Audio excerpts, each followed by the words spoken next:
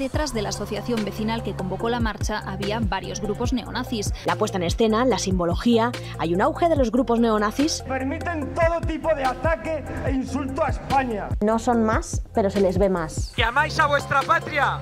¡Fachas! Están legitimando, blanqueando y normalizando esos discursos de odio. Irrumpimos en un acto de deslealtad y de traición a la patria. Esta es una acción más de estos grupos neonazis, el odio frente a la convivencia, y preocupa que estén ganando terreno.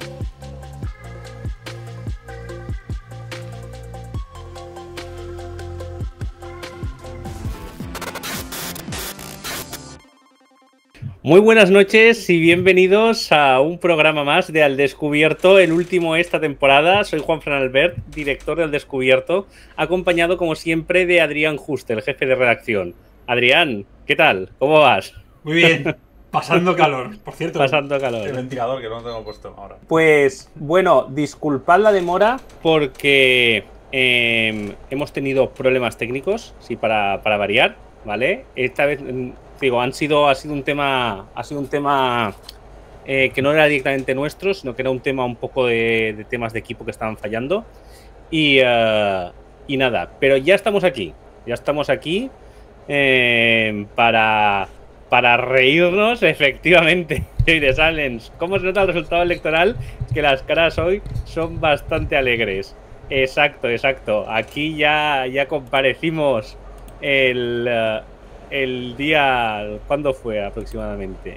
Fue el, junio, el 31, ¿no? De, no, perdón, el 3 de junio o algo así, o el 7, el día después de las elecciones, y, uh, y me acuerdo que aquello fue, fue tenso, ¿no?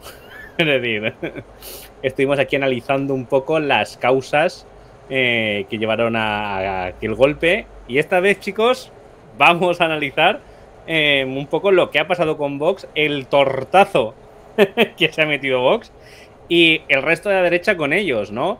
Eh, como todos y todas sabéis, pues bueno, hemos tenido elecciones generales y la derecha que iba a arrasar, ¿no? Recordemos esas encuestas de GAT3, 160 escaños al Partido Popular, eh, Vox entre 30 y 40, ¿no? Dependiendo de la encuesta. Y ha resultado que el PP se ha ido a 139 y Vox que se reía en su Twitter 33, pues son los años que ha sacado. Así que, que hoy estamos de celebración. De hecho, mira, te he traído esta camiseta, no sé si la veis bien, que es de los compañeros y las compañeras de Abad, que nos la han regalado. Así que muchas gracias eh, de la lona que pusieron, que desplegaron en Madrid. Eh, muchas gracias a todas las organizaciones, sociedad civil, partidos políticos, sindicatos, gente y activistas eh, que, que han hecho esto posible. JJG dice, llevabais tiempo diciendo hace tiempo de la hostia que se iban a dar los nazis. Sí, efectivamente. Además, es una cosa en la que Adrián insistía más que yo, el tema, el tema de la hostia que se iban a dar. eso que te levantas, te asomas a la ventana y oyes el viento que dice, Adrián, tenías razón. Y yo lo sé, me encanta tenerla. Bueno, no siempre, esta vez me encantaba tenerla. Pero llevaba tiempo diciéndolo, se me criticó mucho, no, no digo aquí, eh, cuando escribí aquel artículo de que Vox había perdido más de la mitad de los votos en las últimas elecciones de mayo, que ellos tanto celebraban y tanto decían. Y no, no, precisamente esos votos auguraban que se iban a dar una buena hostia. precisamente auguraban eso y han sacado casi los mismos votos que Sumar. Entonces, que no se le suba, que no se le suba a, la chepa este tema, porque estaba clarísimo que se estaban deshaciendo como un azucarillo. Lo que pasa que, que, que bueno, aún queda partido que jugar, por supuesto, pero vamos, está más que claro que desde las andaluzas esta gente está mm. de capa caída. Nosotros la verdad es que sabíamos que les iba mal y sobre todo porque internamente el partido es un desastre, ¿eh? De eso tenemos que hablar un poquito más, pero es que el partido, la verdad es que internamente lleva a tortazos. Solamente que las municipales aumentaron sus concejales y sus resultados también porque se presentaban en muchos más sitios. ¿Vale? Esto fue un tema, y Abascal hizo trampas porque me acuerdo de un vídeo que decía, seguro que Vox duplica el resultado. Claro, se presentaba como en tres veces sitios o cuatro más que, las, que en 2019. Entonces, claro que los resultados van a ser mejores ¿no? en, en el global. Pero veremos en comparativa, ¿no? Y es verdad que en algunos sitios entró con fuerza y dio miedo, ¿vale? Pero es verdad que sus resultados en las autonómicas fue justo. Es decir, eh, el logro vino porque el PP sacó un resultado muy bueno. Entonces, eran, pues yo qué sé, 50 del PP y 10 de Vox, pues gobiernas. Vale. Pero bueno, eso ahora iremos, entramos en materia, que veo que ya somos más de 90 personas. Efectivamente, efectivamente, 90 personas aquí para celebrar esto, para celebrar esta victoria, que esto es una victoria, ¿eh? Aquí mucha gente primero hablando de, bueno, hay que repensar las cosas. Sí, sí, vamos a pensar lo que tú quieras, pero vamos a celebrarlo. Porque una, hemos frenado la ultraderecha y dos, se han comido un mojón, ¿vale? Porque venían que te bote chapote, el Falcon, em, todas sus tonterías y ahora están calladitos. Ahora ya, oye, el lo de chapote no habrá sido un error. Oye, hay que cambiar la estrategia. O sea que, que muy bien, muy bien. Vale. Y bueno, Em, la verdad es que para este programa, que ya es el último programa de la temporada, después nos vamos a ir de vacaciones, em, hemos, hemos preparado, tenemos un invitado bastante especial. Como sabéis, el programa va a constar, como siempre, de tres secciones. En la primera, el foco, donde vamos a, donde hemos titulado Y no pasaron, ¿no? Donde vamos a hablar un poco del el resultado electoral y qué nos ha llevado em, a esto. En la segunda, actualidad ultra, donde vamos a hablar eh, de las noticias más relevantes de la extrema derecha de los últimos días. Y por último, desmontando ultraderecha, donde Adrián nos va a traer, pues eso, unos vídeos, unos tweets, algo que demuestre este discurso de la extrema derecha y que desmontaremos en directo. Em, y nada, una vez dicho esto, eh, nos vamos a ir ya a la primera sección del foco, donde vamos a tratar, pues bueno, eh, qué ha pasado, ¿no? Aquí. Es decir, qué ha traído para que Vox haya flaqueado tanto. Y para este tema, pues hemos traído creo que a un invitado bastante especial. Es un periodista especializado en extrema derecha, migraciones y conflictos en el mundo. Hablamos de Xavier Rus Sant. Xavier, buenas noches. Hola, buenas noches. ¿Qué tal? ¿Qué tal? Nada, un placer tenerte, tenerte por aquí. la verdad, a una, una persona de las más doctas, ¿no? En, extrema derecha española, la verdad es que eh, yo he visitado mucho su blog, que podéis ver, por cierto, xavier-rius.blogspot.com, donde hay siempre un montón de información interesante que no tiene nadie más sobre la extrema derecha y que Xavier Rius sube. Bueno, Xavier, ¿qué tal? Eh, pues muy bien, mira aquí, mejor, mejor hacer esta entrevista o este, este tertulia debate con los resultados que nos, que nos alegran el verano que no otros resultados que anunciaban las encuestas. O sea, encantado de veros y más en este, en este contexto. A lo mejor en febrero hacemos otro, otra tertulia y estamos más serios según lo que pase y se repiten elecciones. Claro. Eso no aventuremos eso son el problema, eso es el problema del Adrián, el Juanfran y el Xavier del futuro. Exacto. De momento. Ahora vamos a, disfrutar, ¿no? Es verdad, es verdad que además hay que ir con cuidado y sobre todo no desmovilizarse porque no sabemos cuál va a ser el escenario, ¿no? No sabemos si vamos a ir a repetición de elecciones y tal, porque la verdad es que la gobernabilidad por parte de la izquierda pues es muy compleja, ¿no? Incluso contando con Juspercat, la verdad es que son unos cuatro años que no, si se consiguiese, no serían muy agradables, ¿no? Pero bueno, no es el tema. Eh, o si queréis hablamos luego un poco, un poco de eso. Primero también vamos a hablar un poquito de ti, Xavier, porque la verdad es que, bueno, yo te conocía mucho, ¿no? Eh, yo creo que también mucha gente te ha conocido, ¿no? Ya te conocían, de hecho, pues bueno, tenemos, tenemos a gente que nos ha dicho, ostras, va Xavier, qué guay el programa, tal, no sé qué, no sé cuántos.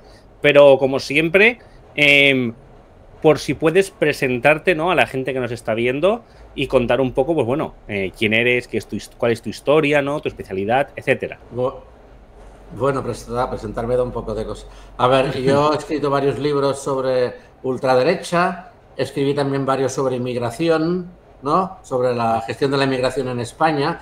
Por ejemplo, hice uno, en el 2007, no sé si lo tengo aquí atrás, no vengo a hablar de mis libros, pero sí que lo tengo aquí. Hice este libro que el título no lo puse no, le, no lo puse yo, lo puso Manolo Pimentel, el editor, libro de la inmigración en España, que un poco ah, en este libro sobre inmigración apenas hablaba de ultraderecha, hablaba más un poco viendo de lo que veía en Francia, pues un poco quise explicar que la gestión de la política migratoria que ha hecho España es, no digamos que necesitamos tantos inmigrantes para compensar la caída de natalidad y pongamos lo difícil por si acaso y a ser posible que no se queden. ¿Vale? Incluso al hacer este libro, luego al final me lo editó Manolo Pimentel, no fue un libro de encargo. Pimentel fue el exministro que se peleó con Aznar y Pimentel me decía que antes de ser ministro era secretario general de empleo con el ministro de Trabajo Arenas y dice, Arenas me decía, yo le decía, hay que dar papeles a 200.000, decía, no lo hagas que se va a liar, da papeles solo a 30.000. Y esta era la política migratoria. Ah, no facilitar que vinieran con papeles, que vengan como irregulares, los criminalizamos, pero somos generosos y hacemos una regularización que será la última. Y al cabo de seis meses otra vez igual, ¿no? Ah, muy difícil y solo mm, se resolvió que pudieran venir con papeles con José Luis Rodríguez Zapatero, con lo que fue el catálogo de difícil cobertura, es decir, poder contratar en origen para tal, pero luego viene la crisis y se acabó. España, de alguna manera, esto es muy bestia, lo que voy a decir. Parece que la integración de la mujer en el ámbito laboral y que pueda tener hijos, es un poco se eligió decir, para que pueda trabajar la mujer, la madre de familia, ganando 1.300 euros, hemos de tener a una ecuatoriana o a una marroquí sin papeles que le cuide a los niños, porque si la tenemos con papeles y gana, entonces no sale. O sea, es un poco España esta la gestión. Y esto es lo que expliqué en este libro sobre la gestión de la inmigración y que la gente no viene como irregular porque quiere, sino porque era el método que se gestionó. Al margen de otro tema geoestratégico, que es que España hace frontera la frontera entre, entre España y Marruecos, ahora no tengo las cifras, esto es el, ¿cómo se llama? El índice del desarrollo humano, que si comparas Estados Unidos y México hay unos puntos y entre España y Marruecos hay el triple de puntos de, diferencia, ¿no? Y que nos guste o no nos guste, pues siempre va a venir inmigración de mm. alguna manera que huye de las guerras y, es, y por ejemplo, Giorgia Meloni pues lo, prometió que lo pararía y no le puede parar porque Italia está donde está España está donde está. Y además en España tenemos dos guindas, que es Ceuta y Melilla, que están allí y así. Y un poco hice primero ese, libro sobre inmigración. Yo ya había escrito eh, muchos artículos en el país sobre la, librería Europa, CEDA de Pedro Varela. Hostia. Ah, buena, gente. De aquí hablamos mucho, aquí hablamos mucho de ese tema. Sí, buena gente. Ya, sabéis eh, la gente que si queréis comentar cualquier cosa y preguntarle a Xavier, es el momento, ¿vale? Porque la verdad es que tiene un montón de informacióncita. Yo de hecho ahora te preguntaré varias cosas sobre sí, vale, vale. Y, entonces, tras, tras ese libro fue cuando sale ese libro, Plataforma por Cataluña en Vic eh, saca mm, cuatro concejales y se convierte Josep Anglada en la segunda fuerza política. Yo siempre decía que en España habían, había no como una anomalía. Las dos fuerzas políticas que emergen a final del siglo XX, en Europa los verdes y la ultraderecha, no, habían, no tenían representación. Nunca, aquí se van, aquí Podemos se cabrea o, o, o Nunca ha habido ningún diputado verde por sí solo en un parlamento autonómico o el Congreso ha sido siendo pactándolo con Izquierda Unida, a Iniciativa por Cataluña, con Esquerra Republicana, ECO, pero nunca ha habido un, diputado verde por su lista ha conseguido escaño. Era siempre, yo tengo el, papel notarial, si me pones de tres, voy con vosotros, y es lo que hacían, y nunca había habido ultraderecha. Había habido Blas Piñar, pero tal vez porque aquí somos menos racistas o menos xenófobos, no, no arraigaba y arraigó en Vic con Plataforma por Cataluña con Josep Anglada. Vic es un municipio, una capital de comarca en la Cataluña central, donde había mucha inmigración magrebí.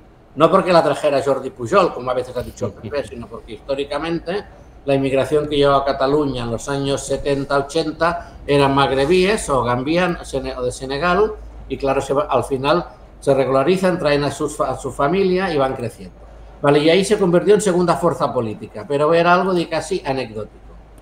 Entonces, en 2011 sacan 67 concejales. En Cataluña entran también en Hospitalet, Santa Coloma de Gramatal, y nos hizo un libro, Xenofobia Cataluña, en catalán, que un poco recogía esto. Pero por lo que fuera, bueno, plataforma se hundió, luego hice este libro en catalán, Al ultras son aquí, de Plataforma por Cataluña a Vox es cuando Plataforma se hunde, expulsar a Anglada, etcétera, etcétera, y parte de Plataforma se va a Vox, esto lo hice hace un año y medio, y luego, pero no vengo a vender, Y, y- y hace cinco meses he hecho este, a Vox, el retorno de los ultras que nunca se fueron en castellano. Exacto. Un poco explico así. Y vale, un poco, y lo he hecho sobre todo porque hay mucha gente de la ultraderecha que quieren que, que los escuches. Esto puede parecer un poco de locos, pero quieren que los escuches y contarte lo malos que son nosotros. Para mí lo interesante ha sido siempre qué te puedes creer y qué no te puedes creer. Y claro, yo llevo muchos años en esto y ahora pongo un ejemplo, por ejemplo. Yo una cosa que desvelé en mi blog fue donde estaba la ubicación del primer local, eh, como será luego el hogar social, el Casal Tramuntana en Barcelona, que nadie sabía dónde estaba, ¿no? que querían imitar la Casa Pound. Pues yo al final consigo recibir, ir recibiendo informaciones de gente del ámbito, mira esta dirección, mira esta dirección. Busco esta dirección Independencia 333 y Eureka, ¿qué encuentro? En un blog de un abogado del Estado llamado Jorge Buxa de Villalba, que el veintitantos de febrero irá a dar una charla a un grupo de amigos sobre la moralidad del sistema de partidos, porque a él no le gusta. Entonces, bueno, y ahí descubro que está el Casal Tramuntana porque alguien me ha dicho, esta dirección yo creo que la podrías buscar, ¿no? Y bueno, pues voy escribiendo y ahora hice este último, ya te digo, el último libro. Y bueno, también he de evitar que me intenten utilizar para lanzar mierda a los otros. Ahora, como ya no queda nada, es un desierto a la ultraderecha, queda solo la falange, que ha sacado, un- bueno, en unas cuantas provincias, y un concejal de Hacer Nación en, no en Santos, en Velilla San Antonio, creo, o uno o dos, ya no queda nada más. Ahora ya no hay quien te eche, ya solo quedan ellos, ¿no? Claro. Que es Vox, que aquí están, pero con mucha gente de Vox, que como hizo Macarena Olona, quieren que se les escuche, porque te cuentan que Vox es una secta y un negocio. Exacto. Secta y negocio. Mm. Efectivamente, bueno, nos has dado mucha información, Xavier. La verdad es que eh, estoy, pues bueno, muy de acuerdo, ¿no? Con la mayoría de lo que has dicho. La verdad es que a mí eh, también eh, es una cosa que Adrián siempre ha dicho, no, Juanfran, no lo hagas nunca. Pero sí que parecía interesante el tema de hablar de vez en cuando con algunos fascistas de estos, o neofascistas, ¿no? Por, ser más correctos, eh, por la información que pueden tener, ¿no? Aunque como tú dices, pues bueno, es. Pero también por un tema, pues también de seguridad total, pues bueno, tampoco nunca, nunca le dimos a la cosa, ¿no? Yo supongo que también eh, en, el momento en el que estabas tú, claro, había una gran división con la extrema derecha, ¿no? Aquí la gente a lo mejor no, no lo sabe, ¿no? Pero aquí estaban.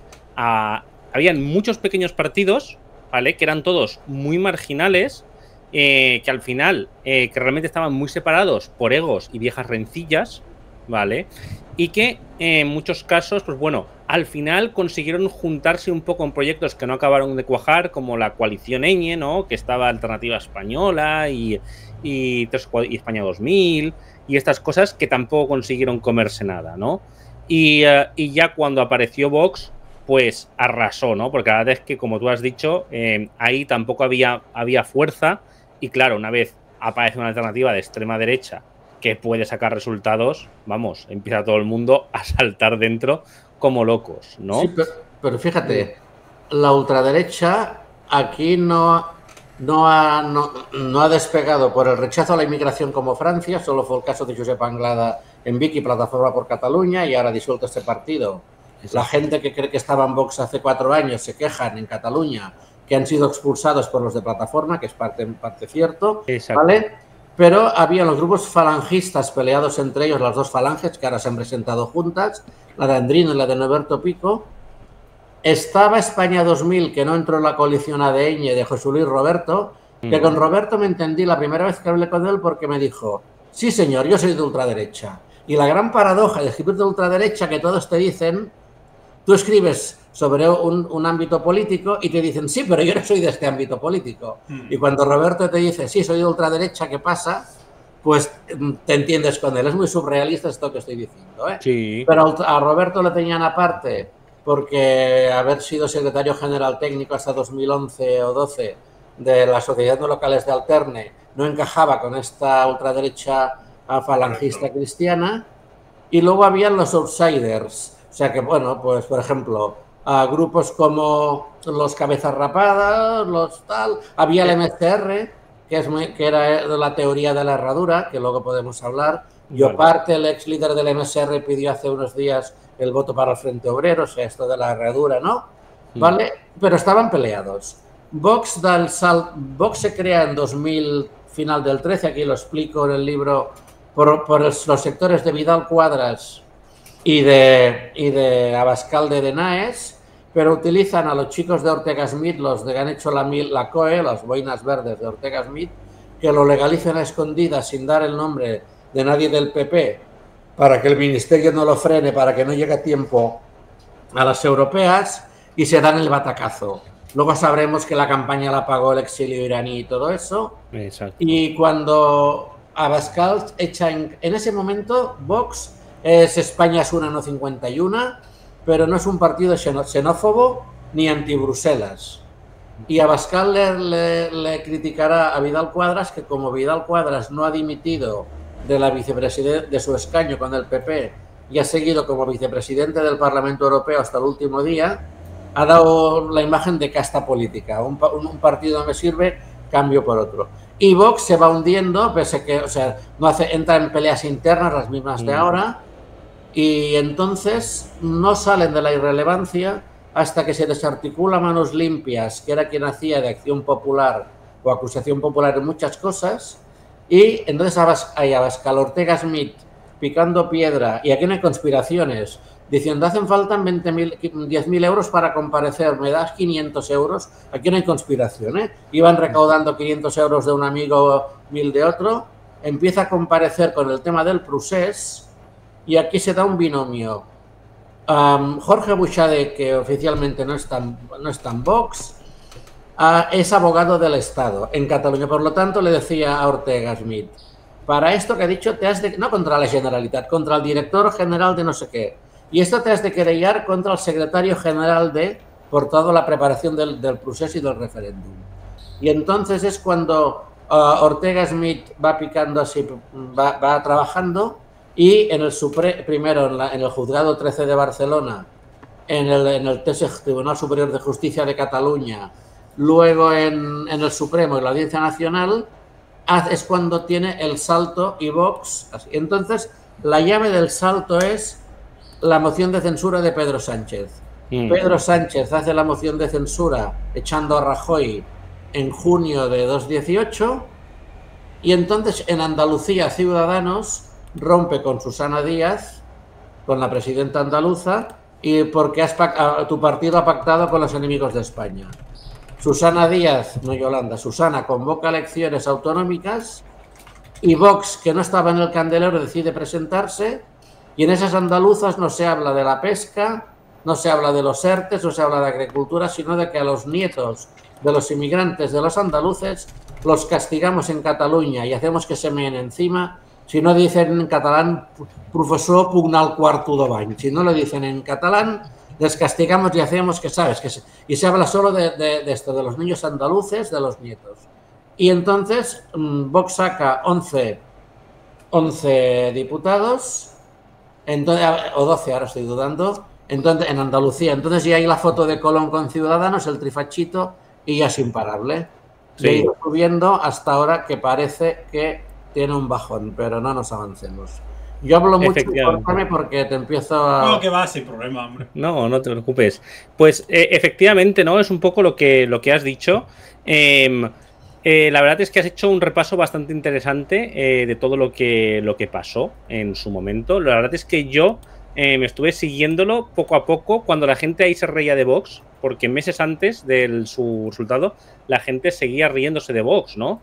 Y yo veía, en cambio, porque yo me metía en muchos foros ultras, seguía mucho Acteoir, la seguía desde, vamos, desde el principio prácticamente, eh, desde que se hizo un pelín más mediática, y hablo ya de 2009, 2010, 2011, eh, que ya me metía en páginas afines a ella, ¿no? Que era, que eran Junqueros eh, y tal, y recuerdo cómo los eventos de Vox se fueron llenando, ¿no? Y, y cómo cada eventito que subía Vox, subía Bascal, estaba lleno de gente y yo, espérate, que esto va a meter un petardazo, ¿no? Y cómo subieron en redes, de hecho en Facebook tenían como 200.000 seguidores, que eso es una cosa pues bastante relevante.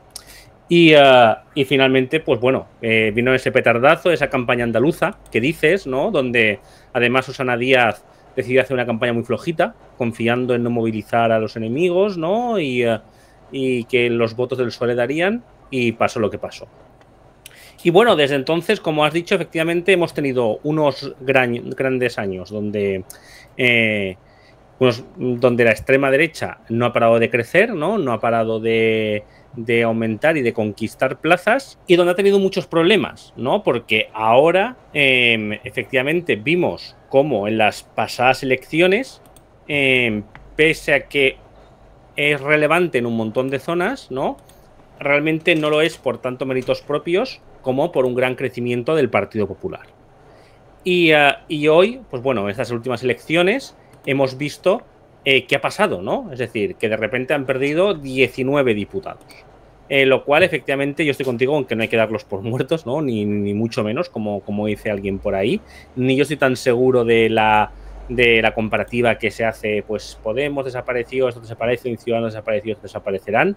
Yo creo que la base de la ultraderecha va por otro lado, la verdad. De la misma manera que el espacio de la izquierda alternativa tampoco se ha deshecho. Es decir, sigue más o menos eh, alrededor de sumar. Eh, más o menos, ¿no? Y no es, lo, el mismo caso que Ciudadanos.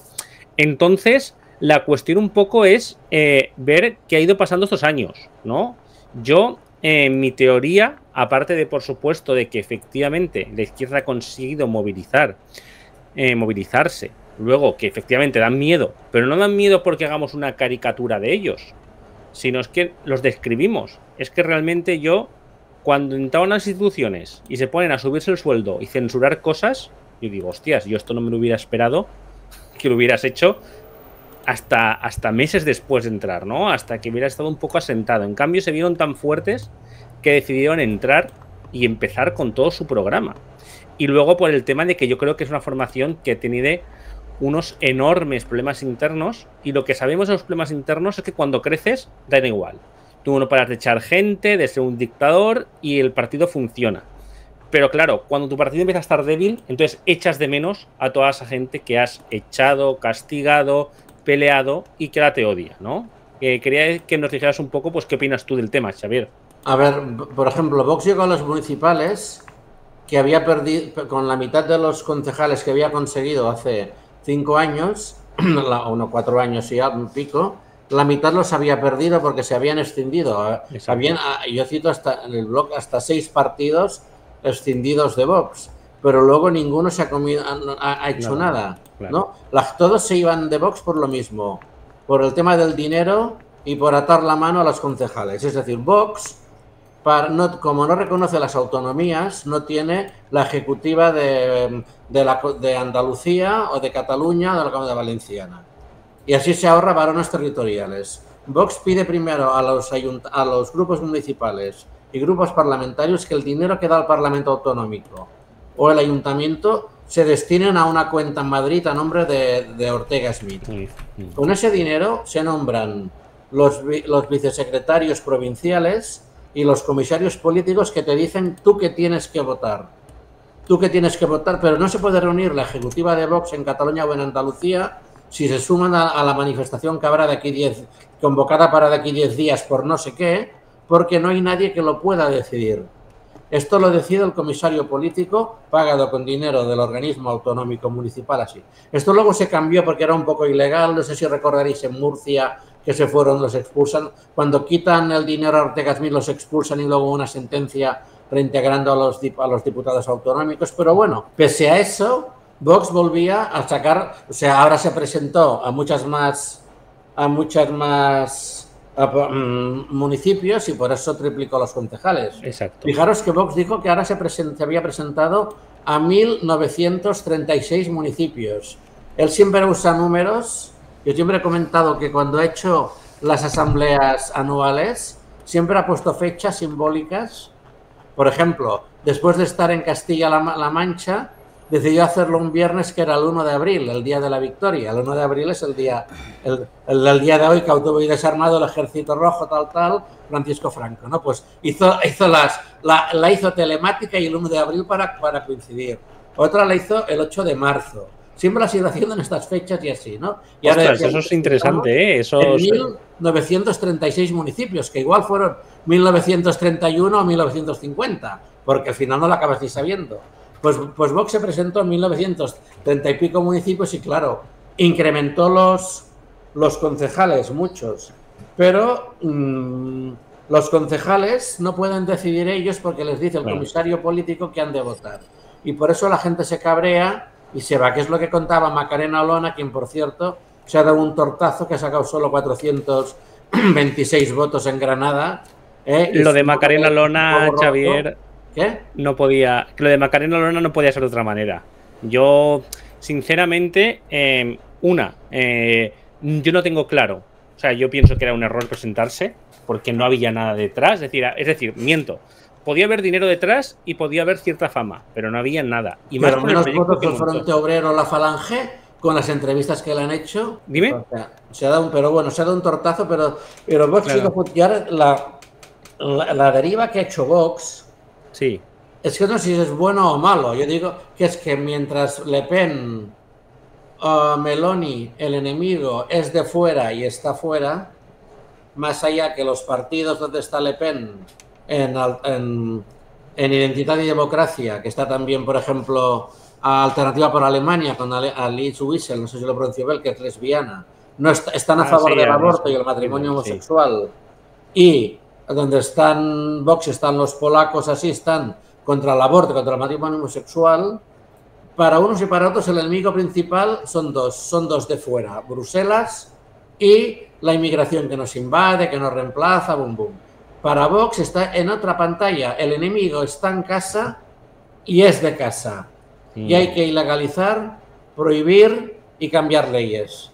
Ni Le Pen, ni Meloni, ni Alternativa por Alemania quiere destruir, quiere disolver eh, los lands alemanes, llámale como quieras, o cuestionan la- los departamentos franceses con su parlamento que hay en Francia. Para Vox es disolver el Estado autonómico, ilegalizar los partidos separatistas, ilegalizar las ONGs. Entonces el enemigo está dentro y dirás que es más peligroso porque va por nosotros. sí. Pero además, para mí sería peligroso lo que podía haber pasado un gobierno del PP con mucha presencia de Vox en el gobierno.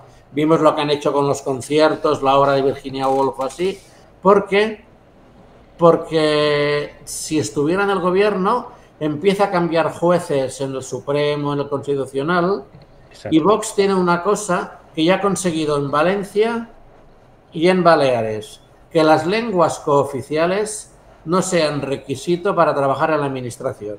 Esto no lo sacudió el PP, esto lo sacudió en su día Inés Arrimadas con Ciudadanos, que es una que aquí en que se discrimina al secretario del Ayuntamiento de Móstoles y no le dejamos que vaya a Mataró o a, o a Valencia hasta ahora o a Manacor porque no sabe catalán. Claro. Entonces, fíjate, en Valencia y en Baleares ya no va a ser requisito, con lo cual si el secretario de Móstoles se va a Manacor y le oiga, hagan el plano español que yo no entiendo nada, o no me hagan instancia en catalán o que yo no entiendo. Entonces, si Vox está controlando, o sea, cambiando jueces, que es lo que ha hecho Orban, lo que hacen los polacos, etcétera, y Exacto. cambiando el Supremo y el Constitucional, imagínate que hay, hay una sentencia de aquí a unos años que diga que el artículo 14, derecho a la igualdad, prevalece frente a la lengua cooficial. Pues desmonta el Estado autonómico, y esto ya lo han hecho, de hecho, en, en Baleares y así, ¿no? Y cambiar muchas cosas para recortar la libertad de expresión y legalizar. Y por eso puede ser más peligroso, aunque será egoísta, porque Vox va por nosotros, por ti, por mí, Sí. ¿eh? porque so- somos su enemigo. En cambio, Le Pen no se plantea ilegalizar a, las, a los chalecos amarillos ni a Melenchón. En Claro. cambio, Vox quiere ilegalizar a los partidos ah, separatistas y rojos. Mm. Y, es, y es distinta, pero en el fondo es una ultraderecha franquista. Y mientras la otra ultraderecha, Le Pen ya lo acordó con su padre, no añoran lo bueno que hizo, lo bueno que hizo ah, el general, ¿cómo se llama? Vichy, el general ¿cómo Le- sale? eh, Petén sí. Ni Petén. lo buen, ni, ni añoran lo bueno que hizo Hitler, que hizo el Volkswagen, coche del pueblo, hizo autopistas, aunque claro, se le fue la mano con los judíos. Pero, o sea, no añoran esto. Mm. Pues si tú coges lo que dice Vox, Vox sigue añorando esa época, porque Ignacio Garriga, aunque nació en democracia, siempre dice que hemos de recuperar la libertad que nos han arrebatado en estos cuarenta y pico años, o sea que quiere ir antes. Y Jorge Bouchardet, que ahora es el cerebro, Exacto. Él, él siempre dice que el sistema autonómico y de partidos y, y a confesional ha desarraigado al hombre español y le ha arrebatado de las instituciones que le son propias. Claro. Y Pues- si él- si le preguntas cuáles son las propias, te habla de la familia, el sindicato, el municipio, la parroquia, que es la democracia orgánica franquista. Claro, Y es calvo Exacto. por nuestra culpa también, seguramente. Y es, que- y es calvo por nuestra culpa también. No, ver, bueno, ya- no- que- cada uno tiene complejo, ¿no? Claro, Pero ya, bueno. ya que nos ponemos a culpar a, a todo el mundo de todo, es que es que es ridículo. Ese señor viene de donde viene. Ese señor es eh, falangista. O sea, es que viene de donde viene. Ya lo dijo, ¿no?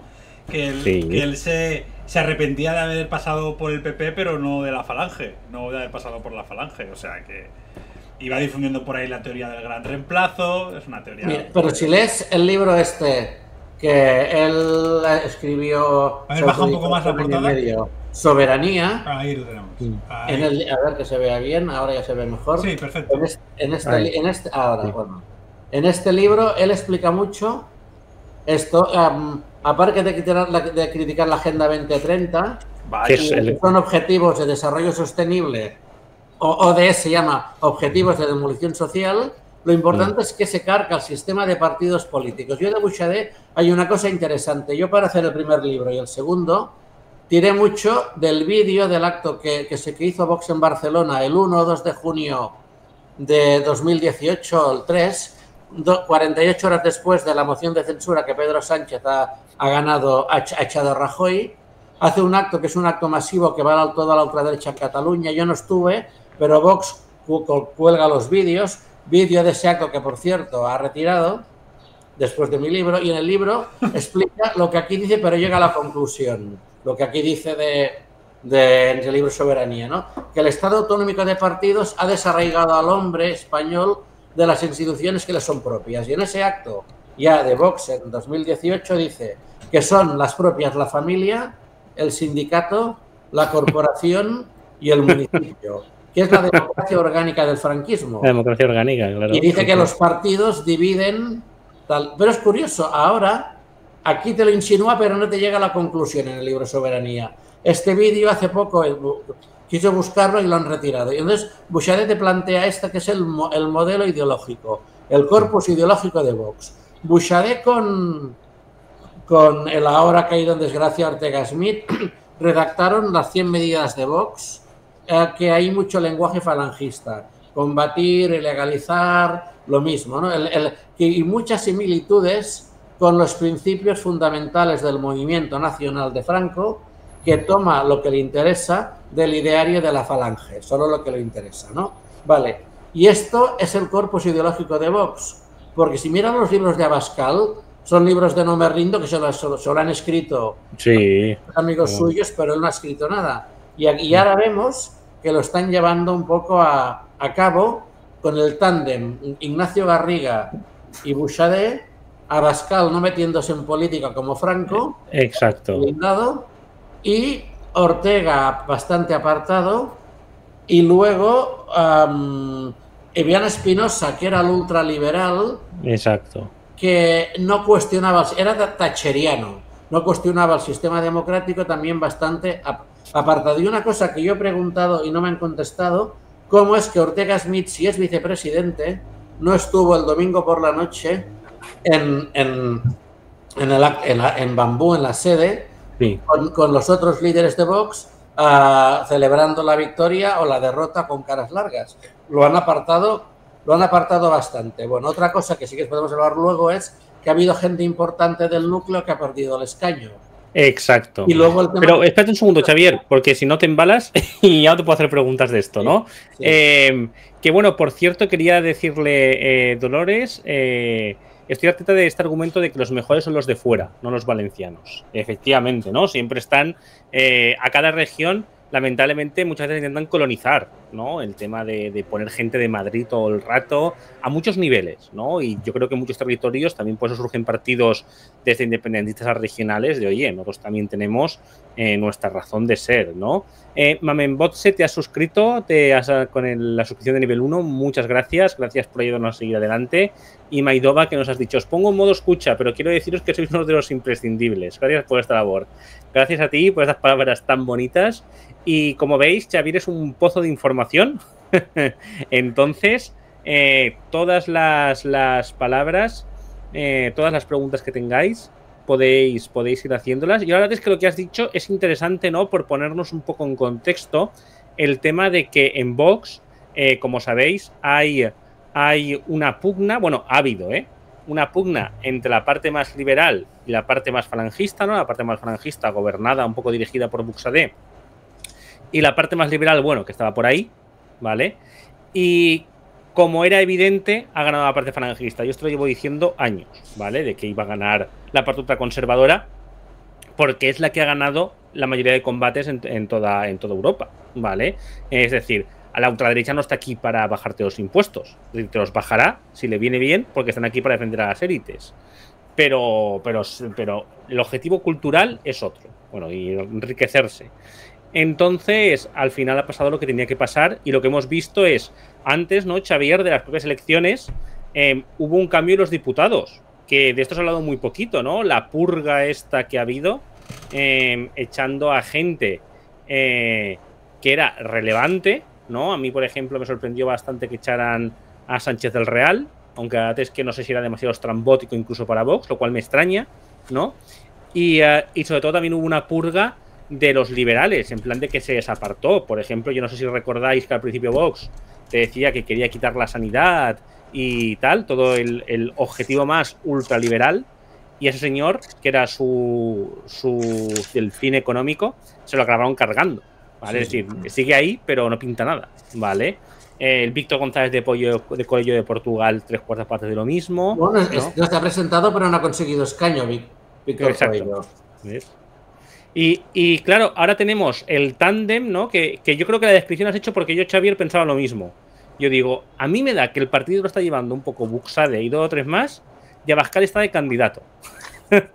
¿No? Pero no se mete en la interna demasiado. Lo cual es, es, llamativo, aunque otras voces dicen lo contrario. Es decir, que Abascal está muy al tanto de lo que pasa, no le molesta, deja hacer a la gente que más le interesa, pero que a su vez eh, Buxade y Ortega Smith eh, actúan un poco bajo su permiso, ¿no? Es decir. A ver, cuando, cuando, sí. ma, cuando Macarena Olona deja, deja, deja Vox y entonces um, estamos en septiembre, bueno, en el verano, a, hace un año, entonces había en octubre la, la fiesta. ¿Cuál es la, la, de Vox? Esta que creo esa que iban, dis, iban disfrazados de Isabel la Católica y de sí, Don Pelayo. 22. Sí, 22, correcto. Sí, sí, sí. Vale. Y en, entonces a, a, Ortega Smith lo cesan como, como secretario general, ponen a Ignacio Garriga, que al estar en Barcelona ha sido bastante un secretario general de paja, aunque ahora últimamente se lo empezaba, se lo empieza a creer, sí. y se cesa a Tomás Fernández Ríos, uno de los miembros de la COE de las Boinas Verdes, de los que hizo la mili con Ortega Smith, de ese núcleo cuatro compañeros que han acompañado y, y también lo cesan de, de secretario de, de, de vicesecretario de organización. Vox no tiene secretarios, tiene vices. Que era um, Tomás Fernández Ríos, era quien mandaba el mail un jueves diciendo, señor tal, le comunicamos que hemos decidido disolver la ejecutiva de Vox de tal provincia y nombrar una gestora presidida por fulanito. Era él. Los apartan porque hay mucho, mucho cabreo por el tema del dinero, por el tema de la falta de libertad de los concejales. O sea, imagínate, un, un, concejal o un diputado, si tiene un acto público este viernes, tiene que escribir el, el, discurso y el comisario político se lo aprueba. Hay gente que sabe leer, pero hay gente que no le hagas leer un discurso de cuatro folios en un acto. Él tiene ahí un papel con cuatro puntos y los explica. Y no se lo dejaban. Entonces la gente se va cabreando. Y entonces, bueno, los apartan a todos y ponen a Ignacio Garriga, ¿no? De, de secretario general y aparcan a, apartan a, a, Ortega Smith. Pero luego, luego han venido las elecciones, han apartado a personas claras del sector liberal han, y en cambio ha, ha pasado que los compañeros de Ortega los han mantenido en la lista. Por ejemplo, Tomás Fernández de Ríos, el secretario de organización de pues mm, iba por Huelva y ha revalidado el escaño, pero otro de los compañeros de Ortega, Julio Trilla, iba tres por Valencia y, y no ha salido. Mm, Vox hace las listas con paracaidistas. Paracaidistas no hablo de lo de las boinas verdes. Hablo de gente de Madrid que los ponen. Igual que pusieron a Macarena Lona por Granada, a, a Tomás Fernández Ríos por Huelva, a Julio Trilla por Valencia, a Pedro Fernández, que es concejal de Madrid, y al abogado, ¿eh? y diputado por, Valencia, por, por Zaragoza, funcionaban así. Ahora han habido cambios, pero aparte han habido personas importantes que no han conseguido el escaño. Uno es Rodrigo Alonso, el diputado andaluz, presidente Correcto. de Solidaridad. No la- luego Víctor González Cuello de Portugal, vicesecretario de Recursos de Finanzas, no ha conseguido el escaño. Tampoco ha conseguido escaño José Luis Stigman, miembro del Comité Ejecutivo Nacional. Que los, que los, que los conspiranoicos le tienen un asco que no pueden con él, ¿no? Porque Le es médico y era un médico honesto. Claro, porque, oye, tú te lees el, eh, el, el ideal. eh, porque, oye, cuando te dicen que Franco hizo cosas buenas, hacía la vacunación obligatoria y gratuita. Obligatoria y gratuita. Y claro, esta gente que decía que Franco hace cosas, hizo cosas buenas, la vacunación, que Vox dijera que fuera antivacunas, no lo tragaban. Luego Car- Carla Toscano, que era el azote de Irene Montero, y el que ahora ha comentado Julio Trilla de, de Valencia. Ha habido gente que se ha caído. Pero además de eso se han perdido las dos herramientas mm, políticas de Vox. Una era los recursos de inconstitucionalidad, Ah, sí. que hacen falta 50 diputados o senadores, y claro, ah, mm, y, y ahora, ahora no los tiene, y la moción de censura que hacen 35. Sí que puede hacer moción de censura pactándolo con el PNV, que no será, pactándolo con Junts. Claro, no las va a poder hacer. Y Claro. no podrá hacer recursos de constitucionalidad porque ¿con quién va a pactar? Con el, es igual. O sea, y ahora los hacía y esto le daba la relevancia y lo ha perdido. Y luego, la, claro, que haya gente importante que ha perdido el escaño, pues eh, para ellos es fastidiado. Pero bueno, por eso no sé si Vox preferirá que se repitan las elecciones o aún iría peor, pero esto es otro tema para más adelante, si quieren. Claro, eh, porque lo que has dicho, efectivamente, ¿no? Hemos visto eh, pues una, una gran sangría interna. Eh, que yo la verdad es que, bueno, no sé yo cómo esta gente era de querida para parte de la cúpula, eh, en el aspecto en que sabemos que Vox, como bien, como bien has explicado, absorbe los recursos de los municipios, las autonomías, y llena las arcas de la Dirección Nacional, ¿no? Exactamente. eh, las arcas de la Dirección Nacional creo que tenían 8 millones y medio hace, hace un par de años, y las y las cuentas provinciales 400.000, ¿no? Es decir, que si quisieran recolocar algunos de estos, pues bueno, los podrían recolocar eh, a sueldo del partido y ya está. Aunque sabemos que Vox es más negocio que otra cosa, ¿no? Lo que has dicho de Porque, a las. ver, porque, a ver, Vox ha dado 5 millones a Disenso Sí. y los estatutos de Disenso, que es su fundación, no dice que el presidente de, Vox, de Disenso es lo que- Dice que el presidente vitalicio de Disenso es don Santiago Abascal Conde. Por eso te decimos lo del negocio de Abascal, ¿no? Del dinero va a, a Vox y Vox pasa 5 millones a Disenso. Y, o sea, que el secretario general del PP o del PSOE sea el, sea el presidente de la fundación de próximo al partido es normal, pero presidente vitalicio, ¿no? Vale. Yo, yo en el libro, en este que hice en, en castellano, el de hace cuatro meses, Sí. un poco voy a, por gente del entorno que me han hablado, de Bouchardet, de Garriga, o sea, gente que estuvo en la Falange o en la OGE, la Organización Juvenil Española con Bouchardet, am, de- con, Abascal en su entorno, con Ortega Smith y con Garriga, ¿no? Y de Abascal explico un poco, analizar su, su, su- su mente. Han habido cosas que no las he podido exponer porque podrían ser querellables o habría que demostrarlas. Pero a Abascal le pasan en 2009 cuatro cosas. Pierde el escaño en el Parlamento Vasco. El negocio de su, de su primera mujer quiebra. Le embargan la casa familiar y, y, se divorcia. Y entonces él, como Scarlett O'Hara en El viento se llevó, nunca más volverá a pasar hambre. Y, la- y le rescata Santi- a Esperanza Aguirre y le da esos chiringuitos en Madrid de 5.000 euros al mes. Y desde entonces Abascal siempre ha tenido esa obsesión de que nunca más volverá a pasar hambre. una persona que llevaba la pistola siempre encima, que, a ver, hay que ser muy respetuoso con la gente que ha padecido el terrorismo de ETA o el otro. Pero él con su pistola y sus escoltas se siente como con una baraca, ¿sabes? Con una suerte, con un destino. Y él merece un sueldo de 5.000 euros, se ha pasado lo que ha pasado. Y por eso ahora los estatutos de disenso dicen que el presidente vitalicio será Santiago Abascal Conde y por eso disenso está sobrado de dinero. Y él está en este espacio por encima de, de todo, ¿no? O sea, un poco aquí, bueno, eso os hablo de... En el libro un poco, hay un poco la disección psicológica de Bouchardet, de Abascal de Garriga y de, y de Ortega Smith, ¿no? Porque hay mucha gente que me ha querido contar cosas y solo lo comento para evitar querellas y he, he, he mandado muchos mails a prensa de Vox, no me han contestado, pero uno de los últimos que hice para este libro Señor uh, Bouchade, quiero preguntar, ¿esto es verdad? ¿Esto es verdad? ¿Esto porque lo ha dicho? Señor Ortega Smith, ¿esto es verdad? ¿Esto es verdad? ¿Esto es verdad? O, por ejemplo, a mí me regaló una persona, me regaló todas las revistas de la Falange, en la que hay los artículos de Ortega Smith, ¿eh? y le decía, en el artículo tal usted decía, a ver que lo alejo, decía esto, en el artículo tal usted decía esto, e incluso documentos que son cartas de Ortega Smith para salvar la Falange, a ver, he de taparlo aquí.